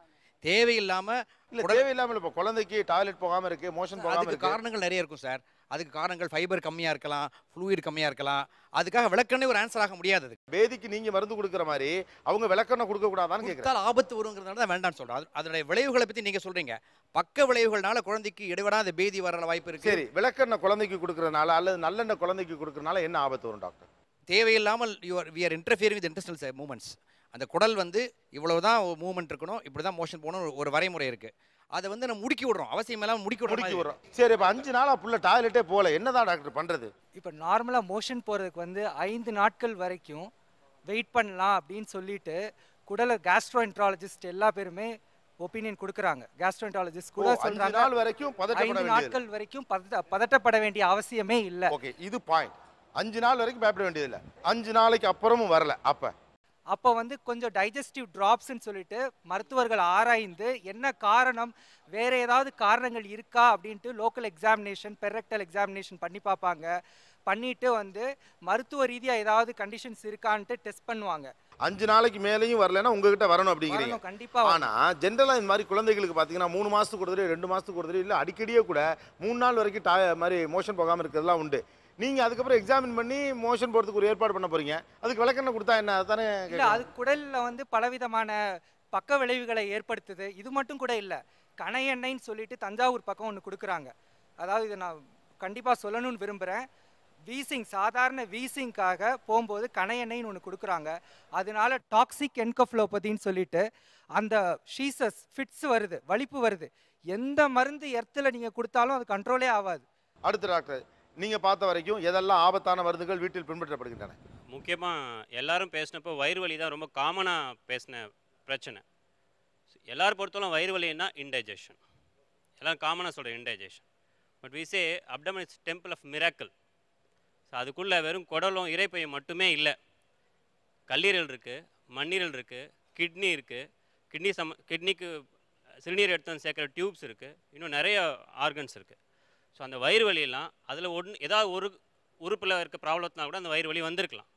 ஆனால் எல்லாருமே காமனாக பாட்டி வைத்தியம் இல்லை வீட்டு வைத்தியம் செய்யும்போது இன்டைஜஷன் அஜீரணம் இஞ்சி கரைச்சி ஊற்று இதை கரைச்சி ஊற்றுன்னு ஊற்றுறாங்க ஸோ அப்போது அந்த குழந்தை ட இன்டைஜஷனை தவிர இந்த மற்ற உறுப்புகளில் ஏதாவது ப்ராப்ளம் இருந்ததுன்னா எங்ககிட்ட வரும்போது லேட்டாக வருது. ஓகே யா இப்போ வேற பிரச்சனைக்கும் இவங்க இன்டைஜேஷனுக்கானதே கொடுத்து எல்லாமே அவங்கள பொறுத்தவரையிலும் காமனாக வயிறு வலின்னா உங்களுக்கும் சரி எங்களுக்கும் சரி எங்கள் வீட்லேயும் சரி இன்டைஜஷன் ஜீரணமாகலை. அது மட்டும்தான் வயிறா. வயிறு வந்து ஒரு வெறும் உணவு போய் அடைக்கிற பை மட்டும் இல்லை. அதுக்குள்ளே எல்லா உறுப்புகளும் இருக்குது அது எல்லாருமே காமனாக மறந்துடுறாங்க. ஓகே நெக்ஸ்ட் மெயினாக என்னென்னா ஒன்று எண்ணெய் தேய்ச்சி குளிப்பாட்டுறது. எண்ணெய் தேய்ச்சி குளிப்பாட்டுறது ரொம்ப தவறான மெத்தட் குழந்தைக்கு எண்ணெய் தேய்ச்சி குளிப்பாட்ட குளிப்பாட்டக்கூடாது. மெயின் ரீசன் என்னென்னா எண்ணெய் தேய்ச்சிட்டு குளிப்பாட்டும் போது என்ன ஆகுது? குழந்தை அழும். அழும்போது அந்த எண்ணெயை வந்து அந்த குழந்தை வந்து ஸ்வாலோ பண்ணும். தட் இஸ் மூ அழு அழும்போது ஆட்டோமேட்டிக்காக நுரையில் வழியாக அந்த எண்ணெய் உள்ளே போகும்போது அந்த எண்ணெயை சுற்றி சளி சேரும். அது பேர் வந்து லைப்பாய்ட் நியூமோனியான்னு சொல்லுவோம். காமனாக ஒரு நிமோனியா காய்ச்சலை வந்து நம்ம ஒரு வாரத்தில் சரி பண்ண முடியும்னா இந்த லைப்பாய்ட் நிமோனியாவை ட்ரீட் பண்ணுறது ரொம்ப கஷ்டம். கிட்டத்தட்ட ஆறு மாதம் ஆகும் அதை ட்ரீட் பண்ணதுக்கு. இது ஒன்று ரெண்டாவது என்னென்னா பவுடர் யூஸ் பண்ணுறது குழந்தையோட முகத்துக்கும் பவுடர் குழந்தையோட முகத்துக்கும் உடம்புக்கும் பவுடர் யூஸ் பண்ணுறது சார் அது வந்து தவறான மெத்தட் நம்ம என்ன நினைக்கிறோம்? குழந்தைக்கு வந்து குளிப்பாட்டோன்னா பவுடர் போட்டால் சுத்தமாக இருக்கும் க்ளீனாக இருக்கும் வேர்வையெல்லாம் க்ளீன் பண்ணணும்னு நினைக்கிறோம். அதுவும் தவறான மெத்தட் ஏன்னா குழந்தையோட ஸ்கின் வந்து ரொம்ப ஃப்ரெஜைல் ரொம்ப பிஞ்சு ஸ்கின் அந்த ஸ்கின் அந்த ஸ்கின்ல வந்து பவுடர் வந்து ஒரு கெமிக்கல் தான் ஆக்சுவலி ஜிங்க் ஸ்டியரேட் அது ஆக்சுவலி அந்த கெமிக்கல் வந்து ஸ்கின்ல படும்போது முகத்துக்கு உடம்புக்கு பவுடர் போடக்கூடாதா? போடக்கூடாது சார் உடம்புக்குமா? ஆமா சார் குழந்தை சார் ஒரு பிரபலமான நிறுவனம் உடம்புக்கு மூஞ்சிக்கெல்லாம் போடுறதுக்கு எல்லாம் விளம்பரம் பண்ணுது. நீங்களே வச்சிருக்கிறீங்க எழுதியெல்லாம் வேற தர்றீங்க. நான் அதுக்குள்ள போக விரும்பல சார் நான் அதுக்குள்ள தானே டாக்டர் போக முடியும்? என்ன புரியவே இல்லையே. அது எவ்வளவு பெரிய பவுடர் போடக்கூடாது actually நான் வந்து ஒரு நிமிஷம் டாக்டர் குழந்தைக்கு பவுடர் போடக்கூடாதுங்கிற டாக்டர்ஸ் எவ்வளவு பேர்? எவ்வளவு பேர்? குழந்தைக்கு பவுடர் போடக்கூடாது. எந்த பவுடருமே போடக்கூடாது.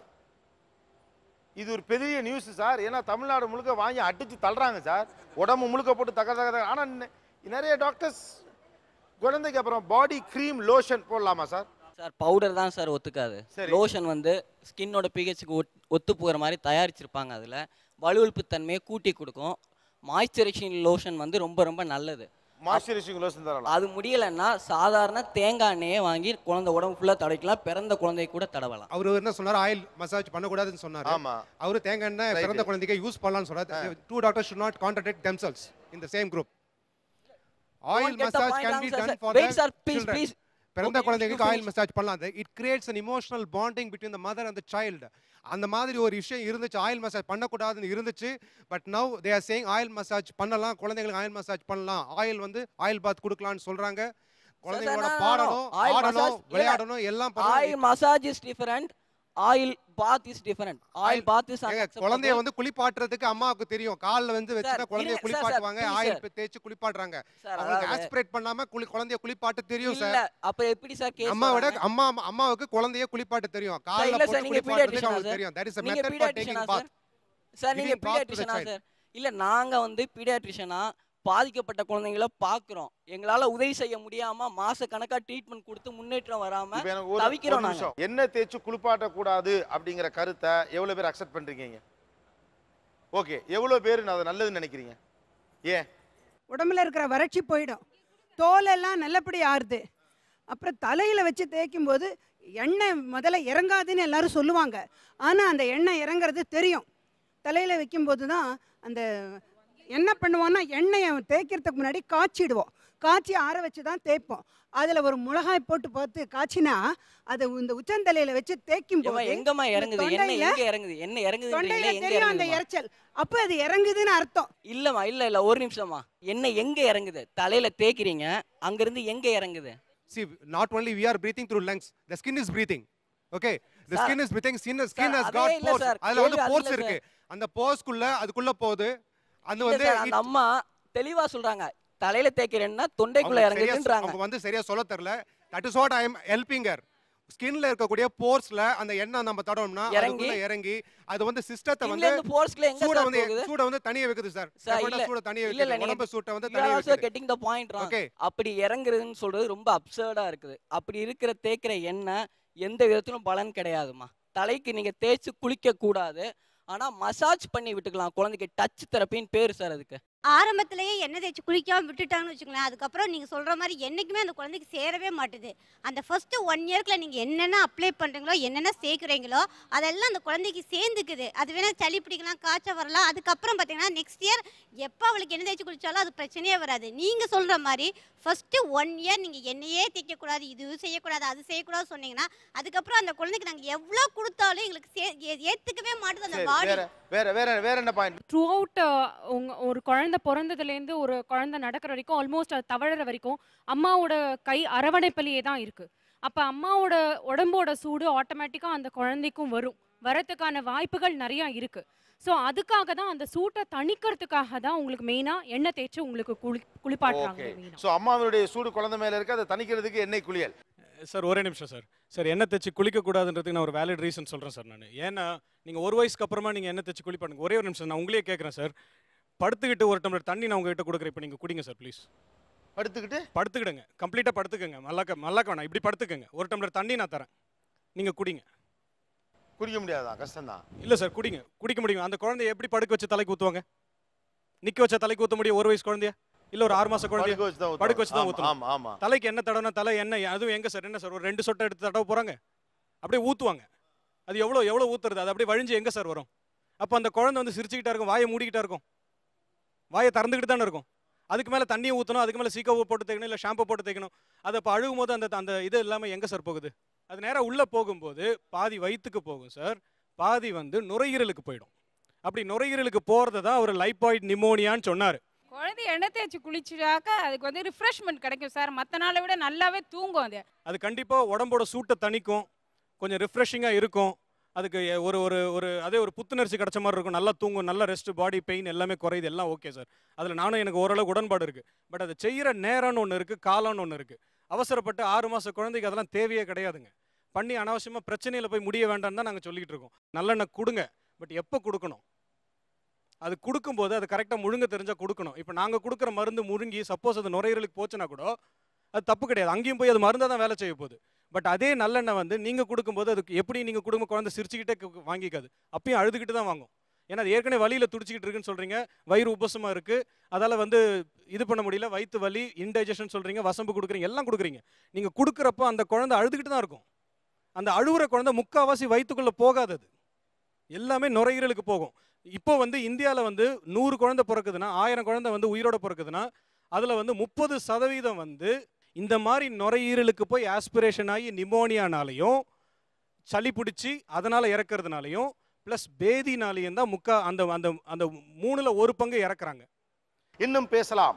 நாட்டு மருந்துகள் வீட்டு மருந்துகள் வெர்சஸ் இன்றைக்கு பேசும் மருத்துவர்கள் எது உண்மை? ஸ்டேட் இன் விசஸ் இது Aachi Masala நியாரானா power by Ran India TMT கம்பி. நீங்கள் பார்த்துக் கொண்டிருப்பது உங்கள் Vijay. Welcome back to Aachi Masala. Neeya Naana power by Ran India TMT கம்பிகள். இன்றைக்கு இருக்கக்கூடிய டெக்னாலஜி வளர்ந்திருக்கும் காலகட்டத்தில் கைவைத்தியம் என்ற பெயரில் ஒரு குழந்தையை காம்ப்ளிகேட்டட் ஸ்டேட்டஸ்க்கு கொண்டு வந்த பிறகு மருத்துவமனைக்கு கொண்டு வருகிற நிகழ்வுகள் அடிக்கடி நடக்கின்றன. ஸோ கைவைத்தியம் என்ற பெயரில் ஒரு குழந்தைக்கு பிரச்சனை ஏற்படுத்துவதை நிறுத்துங்கள் என்று மருத்துவர்கள் எச்சரிக்கை மணி அடிக்கிறார்கள். என்ன சொல்லுகிறார்கள்? குடும்ப தலைவிகள் கேட்போம். இப்போ இங்கிலீஷ் மருந்தால அல்லது டாக்டர்களாலலாம் முடியாது. வீட்டு மருந்தால தான் இது உடனடியாக சரியாகும்னு எதையெல்லாம் சொல்லுவீங்க? அம்மை வியாதி. அம்மை வியாதி. வீட்டில் தான் வச்சு அதுக்கு ட்ரீட்மெண்ட் கொடுக்க முடியும். கண்டிப்பா இது வரைக்கும் யாராவது? அம்மைக்காக இட்டுட்டு போயிருக்காங்களா? அக்கி இது கூட அக்கியும் ஒண்ணு. ஒரு நிமிஷம். இதுவும் அக்கியும். அம்மை என்பது வைரல் இன்ஃபெக்ஷன் அதுக்கு வீட்டில் வச்சு வைத்தியம் பண்ணாலும் ஒன்று தான் ஹாஸ்பிட்டல் வச்சு வைத்தியம் பண்ணாலும் ஒன்று தான் அதுக்கு மருந்து கொடுக்க வேண்டிய அவசியமே இன்ஃபேக்ட் இல்லைன்னு சொல்ல முடியும். இப்போ அம்மைக்கு நீங்க வீட்ல என்ன மருந்து வச்சிருக்கீங்க? வீட்டில் நாங்க வந்து மஞ்சள்ல தண்ணி கரைச்சி மஞ்சள் போட்டு துணி போட்டு துடைப்போம். வேப்பிலை எடுத்து வீடு பூரா கழுவி சுத்தம் பண்ணி அதுக்கு வேண்டியது சுத்தம் தான் வேப்பிலையை அரைச்சி உடம்புல எங்கெங்க இருக்கோ தடவுவோம். வேப்பிலையை சுற்றி ஒடிச்சு வீடு பூரா போடுவோம். அது வந்து கிருமி நாசினி. அப்படி இருக்கும்போது வீட்டுக்குள்ள கிருமி அட்டாக் ஆகாது அவங்களுக்கு வந்து அந்த இன்ஃபெக்ஷன் ஆகாது. இந்த மெத்தட்ல தவறு இருக்கா? தவறே இல்லைங்கிறேன் அதனால ஒன்றும் பெனிஃபிட்டும் இல்ல. நான் அது ஏதோ பண்ணுதுன்னு சொல்லல. அது தவறு இல்ல. இல்லம்மா நான்? பண்ண முடியாது. அவங்க எங்கேயோ வேப்பலை போடுறதுனால அவங்களுக்கு ஒன்றும் ஆயிடாது. ஸோ தப்பு இல்ல. பண்ணட்டும். சார் எங்களுக்கு ஹாம் மட்டும்தான் பயமா இருக்கு. வேற என்ன வேணாலும் பண்ணிக்கோங்க. அதுவும் சுத்தி போடுற வேப்பிலைக்கு நாங்க எப்படி சார் அப்ஜெக்ட் பண்ண முடியும்? problem வீடு. ஃபுல்லா போடுங்க. அப்போ அப்போ அதுக்காக யாரும் டாக்டர் ட்ரீட்மெண்ட் தேவையில்லை. தேவையில்ல. ஏம்மா என் பிள்ளைக்கு அம்மா வந்து- நான் வேப்பிலையும் கொடுக்கல டாக்டர் கிட்டயும் போலாமா அப்ப நல்லா இது வந்து குறைஞ்சபட்சம் ஐம்பது வருஷமா தான் டாக்டர் கிட்ட பெருசா வராங்க. அதுக்கு முன்னாடிலாம் எந்த டாக்டர் கிட்ட யார் போனாங்க? அதுக்கு முன்னாடி வேற வழி இல்லம்மா. அது தயவு செய்து புரிஞ்சுக்கோங்க. அப்ப வந்து எல்லாம் நாட்டு available-ஆ இல்ல. நிச்சயமா நீங்க எதையாவது கை வைத்தியம் தான் பண்ணி என்னத்தையாவது பண்ணி காப்பாத்த ட்ரை பண்ணணும். ஆமா. இப்ப அப்படி இல்ல. இப்ப ஏழை எளியவங்களுக்கு கிராமத்துல கூட அட்லீஸ்ட் ஒரு ஆரம்ப சுகாதார நிலையம் இல்லாத இடமே கிடையாது. இப்போ இருக்கு தயவு செய்து யூஸ் பண்ணுங்க. இது இங்கிலீஷ் மருத்துவத்துல குணப்படுத்த முடியாது எங்க வீட்டு மருத்துவத்தெல்லாம் குணப்படுத்த முடியும்னு வேற என்ன இருக்கு? சோரியாசிஸ் ப்ராப்ளம் வந்து இது வரைக்கும் மெடிசனே கண்டுபிடிக்கலன்னு சொல்லி சொன்னாங்க. எனக்கு தெரிஞ்சு இது வரைக்கும் மெடிசன் கண்டுபிடிக்கல சோரியாசிஸ் ப்ராப்ளம்க்கு அது பார்த்தீங்கன்னா ஒரு மாதிரி செதில் செதிலாக வந்துட்டு இருக்கும் என்னோட பையனுக்கு இருக்குது தலையில் அது. இல்ல, அதுக்கு என்ன மருந்து? வீட்டில் கத்தாழை செடி வச்சுருக்கேங்க சார் நான்.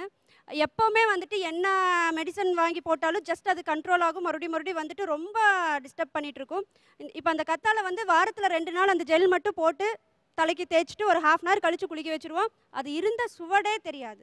அதே மாதிரி இந்த கத்தோலா ஜெல் பார்த்தீங்கன்னா எந்த ஸ்கின் ப்ராப்ளமாக இருந்தாலும் கத்தாழை செடி எடுத்து தேய்ச்சோன்னா போதும். அந்த உள்ள இருக்கிற இது தீப்புண் முதற்கொண்டு பார்த்தீங்கன்னா இல்ல சரியாகும் என்ன என்ன கத்தாலமா சோத்து கத்தாலையா சோத்து சோத்து கத்தாழை.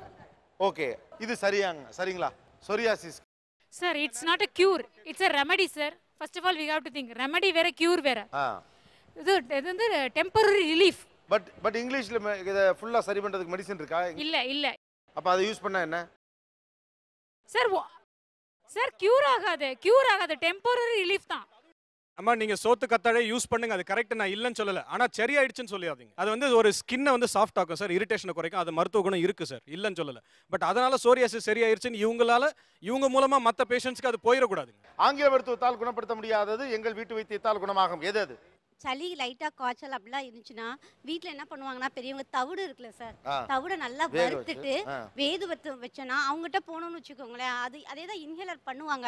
ஆனால் அது குழந்தைகளால் தாக்கு பிடிக்கிறது ரொம்ப கஷ்டம். அதை விட நாங்கள் நைட் டைமில் ஒரு twelve o'clock one o'clock அந்த மாதிரி ஃபீவர் வர சமயத்தில் இமீடியட்டாக தவிடை வறுத்து லைட்டாக வேறு ஒன்றுமே செய்வேனா சார். அது துணியில் கட்டிட்டு வேது வச்சோன்னு வச்சுக்கோங்களேன் இமீடியட்டாக அந்த குழந்தைகளுக்கு நல்ல ரிலீஃப் கிடைக்கும். ஓகே தவிடு பண்றது ஒண்ணு. வேற சளிக்கு வேற என்ன பண்ணுவீங்க? சளி மட்டும்.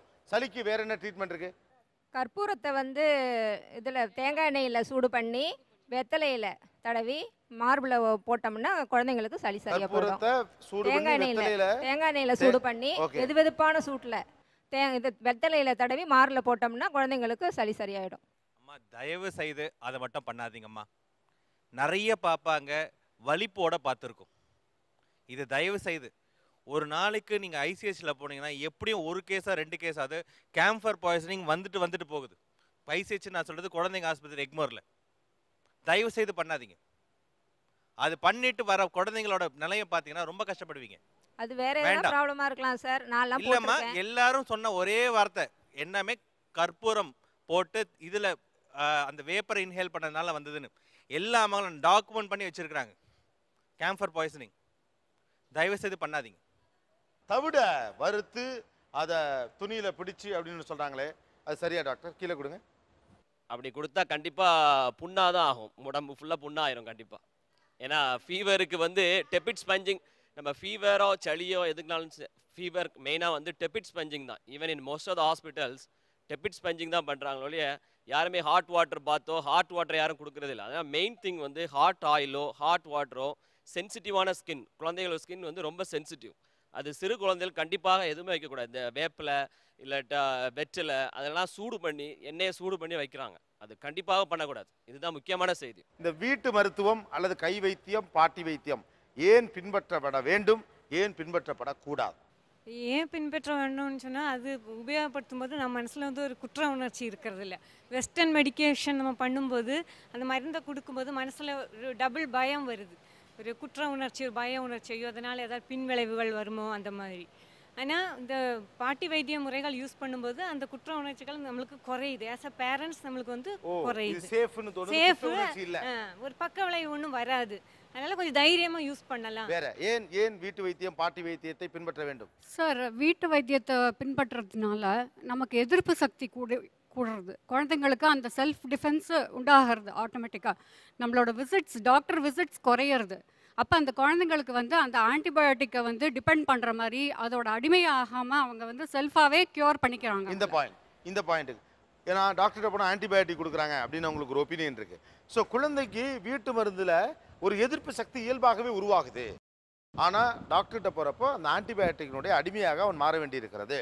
இதை எப்படி பார்க்குறீங்க டாக்டர்ஸ் நாட்டு மருந்தில் எதிர்ப்பு சக்தி கொடுறதுங்கிறது ஒரு அந்த பாயிண்ட் ஏற்றுக்கவே இல்லை சார். முதல்ல இருந்தே நாங்கள் நாட்டு மருந்துகள் என்ன பிரச்சனைனா ஒன்று சரியான டயக்னோசிஸ் சரியான நாட்டு மருந்து கொடுக்குறாங்களாங்கிறது number one number two it most time delays the சரியான டயக்னோசிஸ் பண்ணி கரெக்டான ஆளு எக்ஸ்பீரியன்ஸில் இருக்கவங்களே கொடுக்குறதா வச்சுக்குவோம். அதில் நிறைய பக்க விளைவுகளுக்குனால முதல்ல இருந்தே வேண்டாம் சொல்லிட்டு இருக்கோம் சார். அதில் விளைவுகளை விட பக்க விளைவுகள் அதிகமாக இருக்குது நாட்டு மருந்துகளில். நாட்டு மருந்தால எதிர்ப்பு சக்தி இல்லைங்கிறீங்க நாட்டு மருந்தால எதிர்ப்பு சக்திங்கிறது சொல்ல முடியாது சார். இப்போ உறுதியாக சொல்ல முடியாது. வரும்னு சொல்ல முடியாது நம்மளோட ஃப்ரீக்வன்சி ஆஃப் டாக்டர் விசிட்ஸ் குறையறச்ச நம்ம அந்த அடிமைத்தனம் அந்த ஆன்டிபயோட்டிக்கு நம்ம அடிமை ஆறுறது குறையிறது.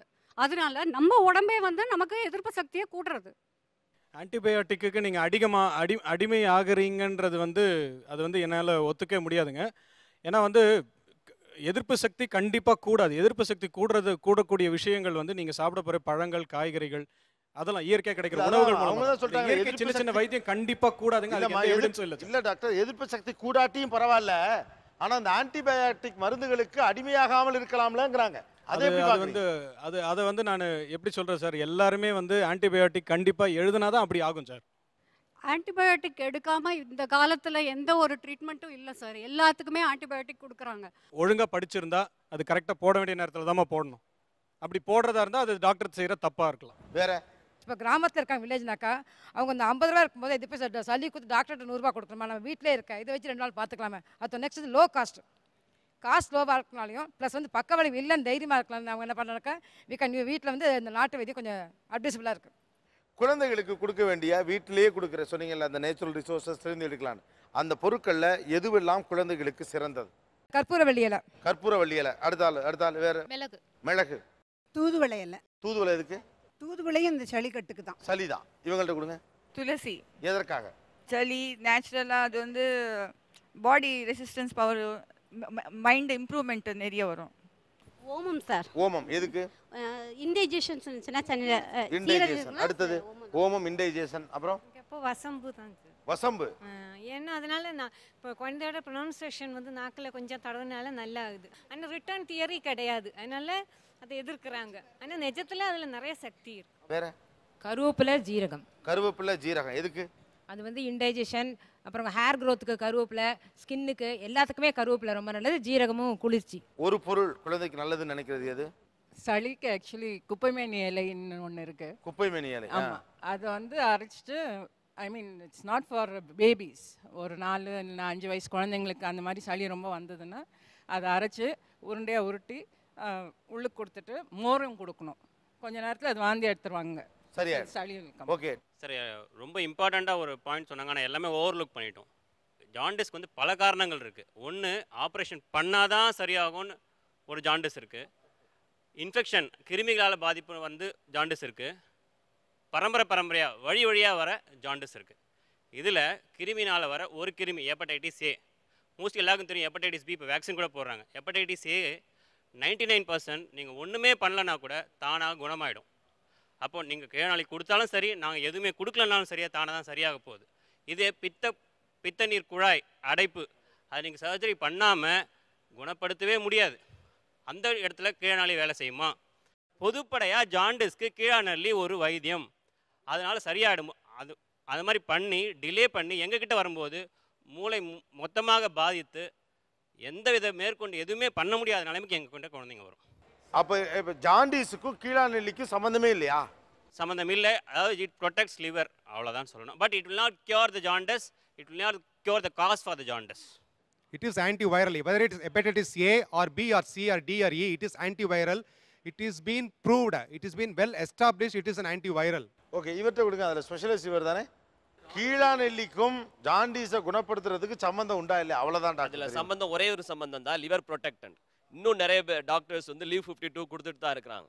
கீழாலிங்கிறது ஒரு மெடிக்கல் மெடிசினல் இது மெஹப் மாதிரி. So it's a liver protectant. So ரொம்ப காலமாக டயபெட்டிஸ் மாதிரி லிவர் டிசீஸ் உள்ளவங்களுக்கு கீழாநள்ளி ஒரு பெனிஃபிஷியல் எஃபெக்ட் கொடுக்கலாம். அதுதான். சரி, பட் கண்டிப்பா கியூர் பண்ணும் அப்படிங்கிறதுனா அப்படின்னா எல்லா லிவர் டிசீஸ் கியூர் பண்ணிடலாமே கியூர் பண்ண சரி முடியாது பாட்டி வைத்தியத்துல கீழநெல்லின்னு ஒரு அட்லீஸ்ட் ஒன்று இது இருக்கு. liver நீங்க என்ன. வச்சிருக்கீங்க? அக்யூட் லிவர் டிசீஸ் ப்ரொடெக்ட் பண்ணுதுங்கிறீங்க. லிவரை ப்ரொடெக்ட் பண்ணுதுங்கிறீங்க. நீங்க என்ன வச்சிருக்கீங்க? ஹெப்படைட்டிஸ் ஏக்கோ பிக்கோ சிக்கோ டிக்கோ ஈக்கோ என்ன வச்சிருக்கீங்க? What is that you have you tell me lot of liver protectants இருக்கு நம்ம. என்ன இருக்கு? சொல்லுங்க. கொடுத்துட்டு தான் இருக்கிறோம். என்ன இருக்கு? எல்ஆர்னித்னைன் அண்ட் ஆல் எல்லா மெடிசின்ஸ்க்கு எவ்வளவு இருக்கு மெடிசின்ஸ் இருக்கு இல்லையா? World wide it is been accepted அவ- இஸ் த பெஸ்ட் இல்லை அவன் சொல்ல வந்த கருத்து என்னென்னா மெயினா கீழாநெல்லி மாத்திரம் கொடுத்துட்டு டைம் டிலே ஆயிடக்கூடாது ஒரு டாக்டர்கிட்ட வந்து டெஸ்ட் பண்ணி அப்ஸ்ட்ரக்டிவ் ஜாண்டிஸ் இல்லை அல்லது வைரல் டெஸ்ட் பண்ணி என்ன ஜாண்டிஸ்ங்கிற டைப்பை கண்டுபிடிக்கணும். நம்ம அப்படி இல்லைங்க. அப்படி. இல்ல. நான் ஒத்துக்கிறேன். இல்ல டாக்டர்ஸ் is- டிபேட் அப்படின்னாலே பயங்கர சண்டையா தான் இருக்க மாட்டிருக்கு. ஒரு சிறிய இடைவேளைக்கு பிறகு சந்திக்கலாம். ரெண்டு டாக்டர்ஸும் மோதிட்டு இருக்காங்க இன்னும் நிறைய விஷயங்கள் பேச போறோம். Stay with us. இது ஆச்சி மசாலா அணியா நான் power by Ran India TMT கம்பிகள். Stay you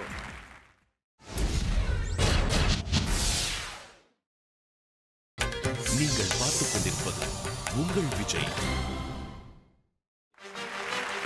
Welcome back to Aachi Masala Neeya Naana power by Ran India TMT கம்பிகள் ஒரு பக்கம் கை மருத்துவம் அல்லது நாட்டு மருத்துவம் பாரம்பரியமாக பின்பற்றக்கூடிய மருத்துவங்கள் பற்றி அம்மாக்கள் குடும்பத் தலைவிகள் பேசி கொண்டிருக்க அதில் நிறைய தப்பான விஷயங்கள் இருக்குது ஆபத்துகள் இருக்குது அப்படின்னு டாக்டர்ஸ் எக்ஸ்பிளைன் பண்ணிட்டு இருக்காங்க.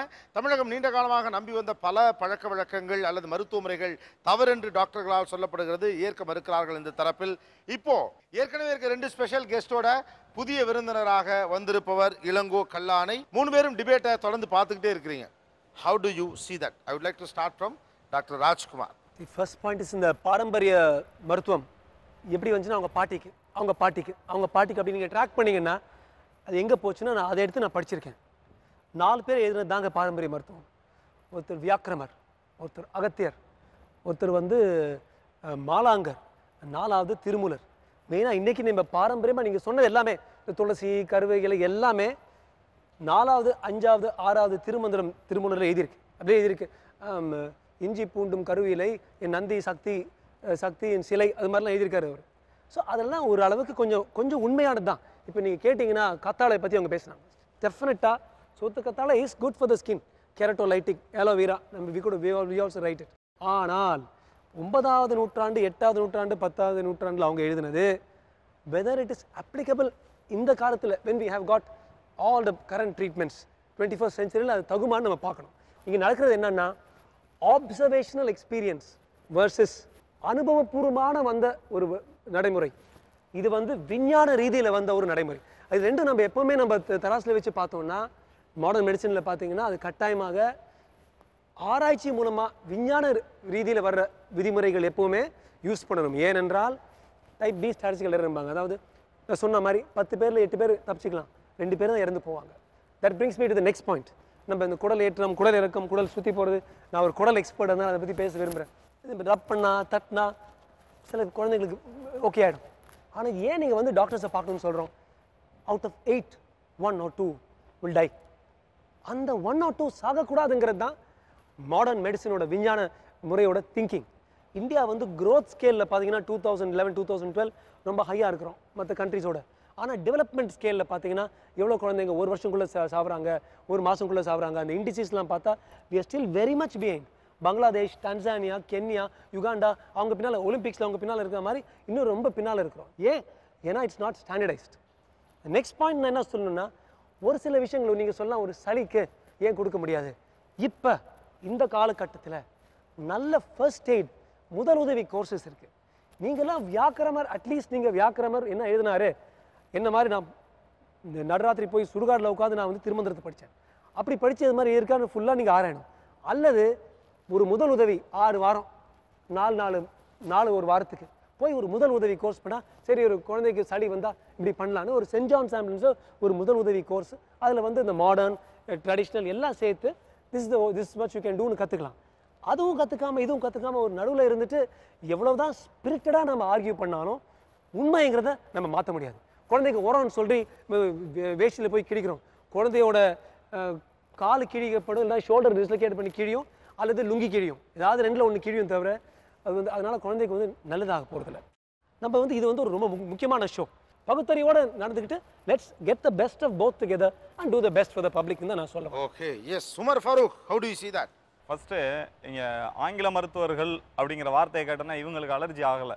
எல்லாம் அக்செப்ட் பண்ணுறாங்க ஆனால் ஒரு ட்ரெடிஷ்னல் மெடிசன் அல்லது பாட்டி மை வைத்தியம் வீட்டு மருத்துவம்னு சொன்னோன்னே அவங்களுடைய ரியாக்ஷனே வித்தியாசமாக இருக்குது இது ஒரு மெடிசன் சிஸ்டம்னு அக்செப்ட் பண்ண வேண்டாம். ஆனால் ஃபர்ஸ்ட் எய்ட் அப்படிங்கிறத கூட அக்செப்ட் பண்ணுறதுக்கு தயாராக இல்லை முதல்ல.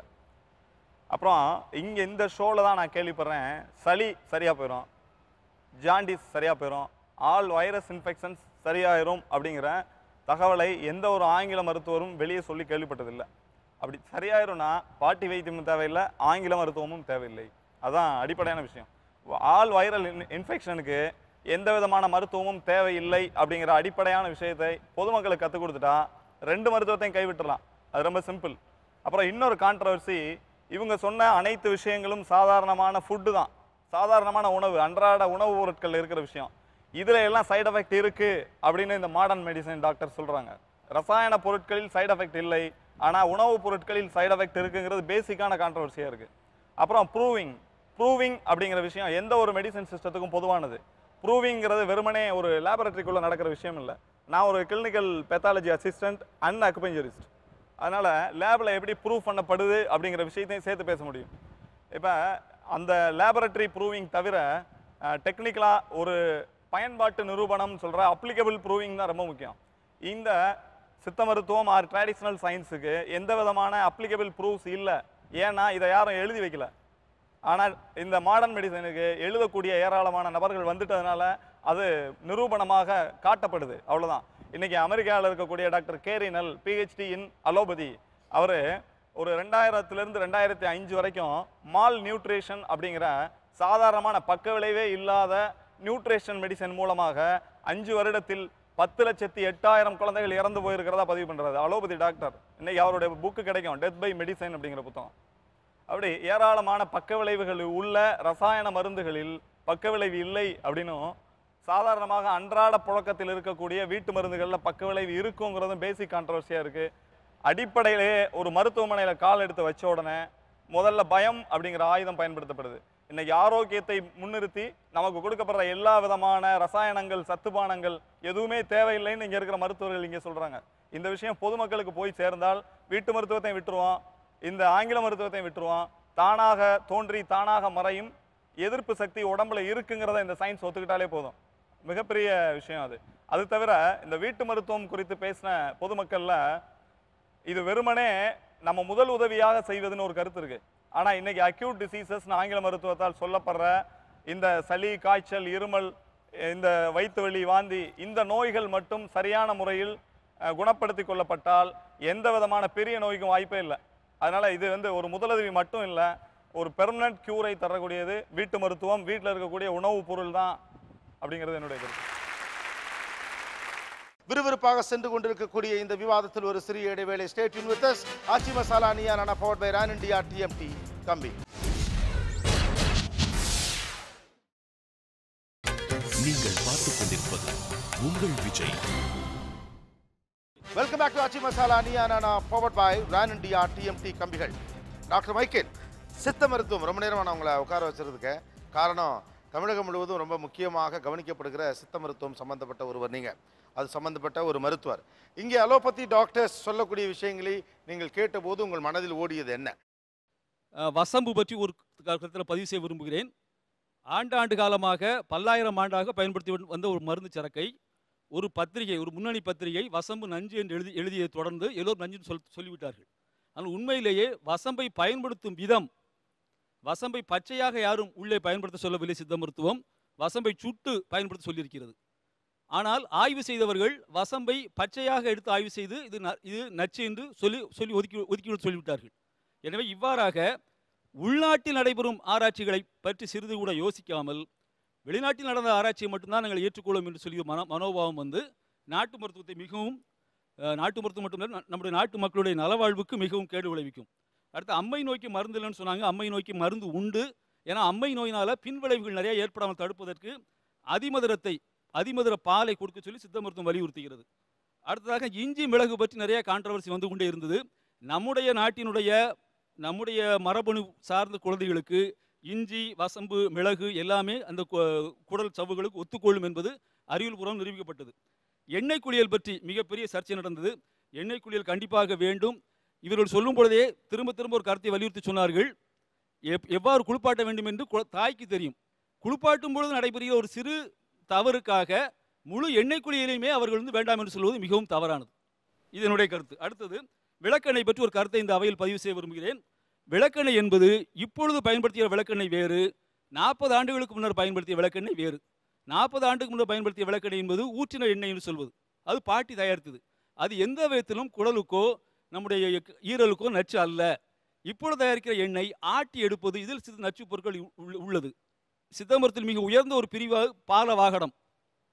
குழந்தை பிறந்த நிமிடம் தொட்டு மருத்துவம் சொல்லிக்கொண்டே சிதம்பரம் சென்று கொண்டே இருக்கிறது. அது பாடல் வடிவாக அழகாக பதிவு செய்யப்பட்டிருக்கிறது. எனவே பதிவு செய்யவில்லை என்று சொல்வதெல்லாம் தவறானது. நீங்கள் படிக்கவில்லை. அவ்வளோதான் தமிழில் இருப்பதால் நீங்கள் படிக்கவில்லை. பிறந்த நிமிடம் முதல் கொண்டு இதில் மருந்து உள்ளது. அடுத்ததாக குழந்தையினுடைய பாக நீ திரும்ப திரும்ப சொன்னாங்க ஆறு மாதம் வரை குழந்தைக்கு மருந்து இல்லை. சித்தமருத்து தெளிவாக சொல்லியது ஆறு மாதம் வரை மருந்து தேவையில்லை. குழந்தை பிறந்த நிமிடம் முதல் மூன்று மாதம் வரை வரக்கூடிய செங்கரந்தி கருங்கரந்தி இரண்டே நோய். மூன்று மாதங்கள் முதல் ஒரு ஆண்டு வரை தோட நோய்கள் ஒரு ஆண்டு முதல் மூன்று ஆண்டு வரை மாந்த நோய்கள் மூன்று மா ஆண்டு முதல் ஏழு ஆண்டு வரை கணை நோய்கள் என்று மிக தெளிவாக சொல்லி அனைத்திற்கும் மருந்து சொல்லப்பட்டிருக்கிறது. அந்த அம்மா சொன்னால் சளிக்கு தவிட்டு விட்டலாம் ஆனால் அவர் உடனே காய்ச்சலுக்கு தாவிட்டார். அந்த அம்மா கடல் பண்ணிட்டார். சூட்டுக்கு சூடுன்னு சொல்லி ஆனால் அவங்க சொன்ன சளி. சளி அதிகமாக இருக்கிற சமயத்தில் நெஞ்சு வந்து குளிர்ந்திருக்கும். குளிர்ந்திருக்கும் போது சு- லேசான வெது வெதுப்பான சூடு தான் உடனே கொடுக்குறாங்க. தெளிவாக சொல்கிறார்கள். ஆனால் அவங்க சொல்லி அந்த பக்குவத்தை ஏற்றுக்கொள்ள தயாராகவே இல்லை. கோரோசனை கஸ்தூரி மாத்திரை என்று இரண்டு மாத்திரைகள். மிக பன்னெடுங்காலமாக நம்முடைய மருத்துவத்தில் பயன்படுத்தி கொண்ட மருத்துவ மருத்துவம். இது ஒரு எமர்ஜென்சி மெடிசின் எல்லா விதமான அவசரகால சிகிச்சைக்கும் இந்த கோரோசனையும் கஸ்தூரியும் பயன்படுத்தி கொண்டு வந்தது. ஆனால் இன்று உண்மையான கோரோசனையும் கிடைப்பதில்லை உண்மையான கஸ்தூரியும் கிடைப்பதில்லை. எனவே இந்த மாத்திரை பயன்பாடு இன்று மிகவும் குறைந்து விட்டது. இதை இதை நம்முடைய அரசு எடுத்து உண்மையான கோரோசனையும் உண்மையான கஸ்தூரி மாத்திரை தயாரித்து கொடுத்தால் கண்டிப்பாக மிக மிக மிக மோசமாக இருக்கக்கூடிய சளி நோய்கள் மிக அவசரம்னு சொல்லப்படக்கூடிய எமர்ஜென்சி நோய்கள் கூட இந்த கோரோசனை கஸ்தூரி மாத்திரை மாத்திரையில் குணமாகி வருகிறது. ஸோ இங்கிட்டிருந்து டாக்டர்ஸ் சொன்ன எல்லாத்துக்கும் ரொம்ப பொறுமையாக ஒரு டீட்டெயில் சொல்லியிருக்கார். அவருடைய ரெஃபரன்சஸ் வந்து டாக்டர் மைக்கேல். நான் இதை ஏற்றுக்கிறது ஏற்றுக்காதது அப்படிங்கிறது உங்கள் விருப்பம். பட் ஆனால் அதை கவனிக்கணும். இது இதுக்குள்ளே ஏதோ ஒன்று இருக்குது அப்படிங்கிறத நம்மளும் ஏன்னா நம்ம மக்களுக்கு தானே நம்ம மருத்துவம் பார்க்குறோம். படித்தது நம்ம படிக்கிற விஷயங்கள் வெளிநாட்டிலிருந்து கொண்டு வரப்பட்டதுனாலும் கூட உரம் சார் என் பிள்ளைக்குன்னு வந்து உங்ககிட்ட சொல்கிற ஒருத்தருக்கு தான் நம்ம ட்ரீட்மெண்ட் கொடுக்க வேண்டியிருக்கு. ஸோ தட் இதை கொஞ்சம் நம்ம கன்சிடர் பண்ணலாமோ அல்லது கவனிக்கலாமோன்னு தோணுது. இப்போ அவர் ஆரம்பிக்கிறப்ப எனக்கு ரொம்ப பிடிச்சிருந்தது. இந்த நாளை நான் படிச்சுட்டு வந்து உட்காந்தேன் நடு சுடுகாட்டில் உட்காந்து திருமூலர் படித்தேன் அகத்தியர் ஸோ அதையும் படித்தா கொஞ்சம் மேபி இந்த அறிவோடு அதை சேர்க்குறப்போ இன்னும் பவர்ஃபுல்லான ஒரு ஆளாக நம்ம வர முடியும். Now I would like to talk to Ilango Kallanai. என்னுடைய அனுபவத்தில் ரெண்டு தரப்பட்ட பேசையில் நான் உண்மையிலேயே ரொம்ப ஃப்ரஸ்ட்ரேட் ஆவேன். ஒன்று வந்து பியூரோக்ராட்ஸ் ரொம்ப இரிட்டேட் பண்ணுவாங்க. ஒரு மனுஷனாவே மதிக்க மாட்டேன். ரெண்டாவது doctors sorry to say this டக்குன்னு ஒரு ஃபியர் ஃபேக்டருக்குள்ளே இறங்கினோன்னா it's like I have experienced several times பயங்கரமான ஒரு ஃபியர் ஃபேக்டருக்குள்ள ஆனால் என்ன மாதிரி ஆட்கள்லாம் உட்காந்து கொஞ்சம் புஸ்தகத்தை படிப்போம் கொஞ்சம் நெட்டை தேடுவோம் என்னதாச்சும் பார்த்துட்டு இருப்போம். வாட் இஸ் ஹேப்பனிங் அரவுண்ட் இவங்க மாடர்ன் மெடிசன் சொல்லிட்டு இருக்காங்க. I doubt if they are modern enough ஏன்னா மாடர்ன் மெடிசன் வந்து பல எல்லா கண்ட்ரீஸ்லையுமே they are incorporating the cultural elements into it நம்ம டாக்டர்ஸ் தான் ரொம்ப வக்கீல் மாதிரி வெள்ளக்கார மெடிசனுக்கு வாதம் பண்ணிட்டு இருக்கோம். சயின்டிஃபிக் எம்பிரிக்கல் இதெல்லாம் கரெக்டு ஆனால் இங்கே இருக்கக்கூடிய எல்லா விஷயத்தையும் நம்ம எடுத்துக்கொண்டு தான் இந்த சயின்டிஃபிக் அண்ட் எம்பிரிக்கல் சைட்லையும் நம்ம பேச முடியும். ஹோலிஸ்டிக் மெடிசன் இன்னைக்கு பேசக்கூடிய விஷயம் என்னென்னா it is adapting all the cultural medicines as well into the system அப்படி இல்லைன்னா அந்த பேட்டன் ரைட்டில் இவ்வளோ மெடிசின்ஸ் நம்ம தமிழ்நாட்டில் இருக்கக்கூடிய மெடிசின்ஸு மஞ்சள் வேம்பு இதெல்லாம் அவன் பேட்டன் பண்ணுறதுக்கு இறங்கி வரமாட்டான் இதில் மார்க்கெட் விஷயம் உண்டு. அது மட்டும் இல்லை நம்மளோட உணவுப் பொருள் எல்லாத்துலேயுமே வந்து அவங்க வந்து கை வைக்க ட்ரை பண்ணிகிட்ருக்காங்க நான் இந்த பக்கம் வரேன். ஒரு சித்த வைத்தியம் சைடில் இருக்கக்கூடிய முரட்டுத்தனமான வைத்தியங்களை பற்றி நானும் கொஞ்சம் கேள்விப்பட்டிருக்கிறேன். இதெல்லாம் நம்ம இவ்வளோ டோஸ் கொடுத்தோம்னா அது குழந்தைக்கு சரியாக வருமா அப்படிங்கிற பயம்லாம் என- எனக்கே கூட இருக்குது ஆக்சுவலாக வந்து I am not accepting totally everything that is been there in Siddha medicine Siddha மெடிசனில் நிறைய விஷயங்கள் வந்து காம்ப்ளிகேட்டடாக இருக்குது அதெல்லாம் அதெல்லாம் இருக்குது ஆனால் ஒட்டுமொத்தமாக சித்தா மெடிசனையும் ஆயுர்வேதத்தையும் நிராகரிக்கிறதுக்கு வெஸ்ட்டுக்கு தகுதி இல்லை. ஒரு டாக்டர் எனக்கு எனக்கு சொன்ன ஒரு விஷயம். ஒரு ஆடு பாய்சன் கடிச்சிருச்சு ஒருத்தருடைய ப- பக்கத்து ஃபீல்டில் பாய்சன் கடித்த உடனே அவர் ஒரு சாதாரண சம்சாரி டக்குன்னு அந்த அலக்கு இருக்கு இல்லையா அழகு கத்தி அதை எடுத்து க- டக்குன்னு காதை அறுத்தார். காதை அறுத்து ப்ளீட் பண்ண விட்டார். ப்ளீட் பண்ண விட்ட உடனே ரத்தம் வந்துருச்சு. அந்த ஆடு பொழைச்சிக்கிச்சு. Poison பைட்னா snake bite not an ordinary bite நான் என்னோட வெட்டினரி டாக்டர்கிட்ட கூப்பிட்டு சொன்னேன். இங்கே பாருங்க டாக்டர் காதை அறுத்து விட்டாரு. அந்த ஆடு பொழைச்சிக்கிச்சு இது என்ன அப்படின்னு கேட்டேன். அவர் சொன்னார் ஆக்சுவலாக கஸ்டம்ல இது இருக்கு. ஆனால் அதை நான் ரெக்கமெண்ட் பண்ண முடியாதுங்க. இது என்ன விதமான ஆனஸ்டி சார் இது என்ன விதமான honesty when something is happening in front of you and you are able to see it என்னோட ஃப்ரெண்ட் அவர் அவர் அவர் நல்லா தான் சொன்னார். சார் மாடு கூட பொழைச்சிக்கும் சார் பைஸ் பாய்சன் கடிச்சா காதை அறுத்து விட்டா அந்த ப்ளீட் அதாவது the blood is trying to pump out. It may be the reason அப்படின்னு அவரை he is assuming. இவங்களோட அசம்ஷன்ஸ் எவ்வளோ ராங்கோ அவ்வளோ அசம்ஷன்ஸ் நம்ம சைட்லையும் சயின்ஸ் சைட்லையும் ராங்காக இருக்கிறதுக்கு வாய்ப்பு இருக்கு. அப்போ இந்த இன்சிடென்ட் பர்டிகுலர் இன்சிடென்ட்ல வந்து எனக்கு பெரிய கொஸ்டினாக இருந்ததே வந்து there is no honesty or transparency across அப்போது இதை கொண்டு வரும் பட்சத்தில் தான் நம்ம மக்கள்கிட்ட போய் அப்ரோச் பண்ண முடியும். நம்ம மக்களுக்கான மெடிசனை பற்றி பேச முடியும். அப்போ தான் வந்து மெடிசனும் it won't be an industry hijacked medicine it will be a popular medicine நான் ஃபீல் பண்ணுறேன் can I just quickly say one last thing doctors என்ன சொல்கிறாங்க doctor bashing is politician bashing மாதிரி டாக்டர் பேஷிங் விட்டுருங்க. மெசேஜ் மட்டும் எடுத்துக்கங்க. Message அவங்க சொல்கிறாங்க நீங்கள் எல்லாம் சொல்கிறீங்க அச்சுறுத்துறோன்னு. ஒரு வேளை ஒரு பே எண்ணெய் எண்ணெய் போட்டு ஒரு குழந்தைக்கு வந்து லிப்பிட் நிமோனியா வந்துச்சுன்னா அங்கே போக போகிறதில்ல இங்கே போக போகிறதில்ல அக்கிபங்க்சருக்கு போக போகிறதில்ல இங்கே தான் வருவாங்க. காதில் பூண்டு வச்சு எட்டு பழக்க குழந்தைங்க ஓகே ஆகுது. ஒன்றுக்கு அவுட் ஆகிடுது உள்ளே போகுது. இங்கே தான் வருவாங்க. ஸோ காம்ப்ளிகேஷன் இந்த உரத்தை ஆடி டிஸ்லகேஷன் ஆச்சுன்னா இங்கே தான் வருவாங்க. நாங்கள் வந்து காம்ப்ளிகேஷன்ஸை திருப்பி திரும்பி பார்க்குறதுனால முடிஞ்ச அந்த காம்ப்ளிகேஷன்ஸை பாட்டி ரெமடியில் பண்ணுங்கள பண்ண முடியாது. நாங்கள் என்ன சொல்கிறோன்னா இது ஒரு ஃபர்ஸ்ட் எய்ட் மாதிரி எடுத்து தெரிஞ்சு பண்ணுங்க. தெரியாமல் பண்ணி அதுக்கு குழந்தைங்களை வந்து விக்டிமைஸ் பண்ணாதீங்க. That is the message that these doctors are trying to say அந்த ஆனஸ்டியால் தான். அப்பா இப்போ அது கையால் தட்டி அந்த ஆனஸ்டியால் தான் சொல்கிறோம் கீழே நல்லையும் லிவருக்கு நல்லது. நீம்லேயும் துளசிலையும் ஆன்டிவைரல் இருக்குது ஆனால் ஒரு சிவியர் இன்ஃபெக்ஷனுக்கு இது வச்சா போதும்னு நினச்சி அந்த குழந்தை அந்த இன்ஃபெக்ஷனால கெட்டு போய் அப்புறம் திருப்பி இங்கே வர வேணாம் தான் நாங்கள் சொல்கிறோம் அந்த மெசேஜ் மட்டும் எடுத்து இது ஒரு சரியான நேரம் நினைக்கிறேன் இந்த இணைப்புக்கு வீட்டு திண்ணையை கிளினிக் ஆக்கிற முயற்சி நீங்கள் செய்யாதீங்க. இவங்க பண்ணுற எல்லாமே தப்புங்கிற ஒரு மனநிலையோடு இவர்களை அச்சுறுத்தும் அந்த மனப்போக்கிலிருந்து கொஞ்சம் வெளியே வரவும் நாமும் முயற்சிக்கலாம். பேசுவோம் இடைவேளைக்கு பிறகு. இது Aachi masala Neeya Naana power by Ran India TMT கம்பிகள். நீங்கள் பார்த்துக் கொண்டிருப்பது உங்கள் Vijay. Welcome back to Aachi masala Neeya Naana bye Ran India TMT கம்பிகள். பரிசீலிக்கிற நேரம் இரண்டு பரிசுகள் இருக்கு. ஒரு பரிசு இந்த பக்கத்தில் உட்கார்ந்திருந்தாலும் கூட அவர் டாக்டராகவே இருந்தாலும் கூட இந்த பாரம்பரிய மருத்துவத்தில் இருக்கக்கூடிய முக்கியத்துவங்களை உணர்ந்தவராகவும் அதை மற்றவர்களும் புரிந்து கொள்ள வேண்டும் என்ற தவிப்போடும் சில கருத்துக்களை முன்வைத்த விதத்தை பாராட்ட வேண்டும் அதை மற்றவர்களும் ஃபாலோ பண்ணணும் அப்படின்னு ரெக்கக்னைஸ் பண்ணுறதுக்காக இந்த பரிசை அவருக்கு கொடுக்கிறோம். அவருக்கு திருச்சி சிங்கப்பூர் ஹார்ட்வேர்ஸ் வழங்கும் ஒரு கலர் டிவி பரிசு. வாங்க doctor please welcome thank you all the very best best wishes எதிர்த்தரப்பில் இருக்கக்கூடிய யதார்த்தங்களையும் நியாயங்களையும் அதை புரிந்து கொள்ள வேண்டும் என்ற மனோபாவத்தோடையும் ஒருத்தர் ஆரம்பத்திலேருந்து இந்த சைட்லேருந்து பேசினார். அவர் நிறைய விஷயங்களை சொல்ல முயற்சி பண்ணார். அதற்கு பின்னணியில் இந்த மக்கள் மீதான அக்கறையும் தவிப்பையும் உணர முடிந்தது. அவருக்கு அந்த பரிசை கொடுக்கணும்னு ஆசைப்படுறோம். திருச்சி மங்களன் மங்கள் வழங்கும் ஒரு கிஃப்ட் ஓச்சர் டாக்டர் உங்களுக்கு தான். வாங்க. வாழ்த்துக்கள் doctor. All the very best நிகழ்ச்சியில் கலந்து கொண்ட அனைவருக்கும் கோபிநாத்தின் நெஞ்சார்ந்த நன்றிகள். மீண்டும் இன்னொரு சந்தர்ப்பத்தில் பேசுவோம். Aachi masala Neeya Naana power by Ran India TMT கம்பிகள். நன்றி வணக்கம்.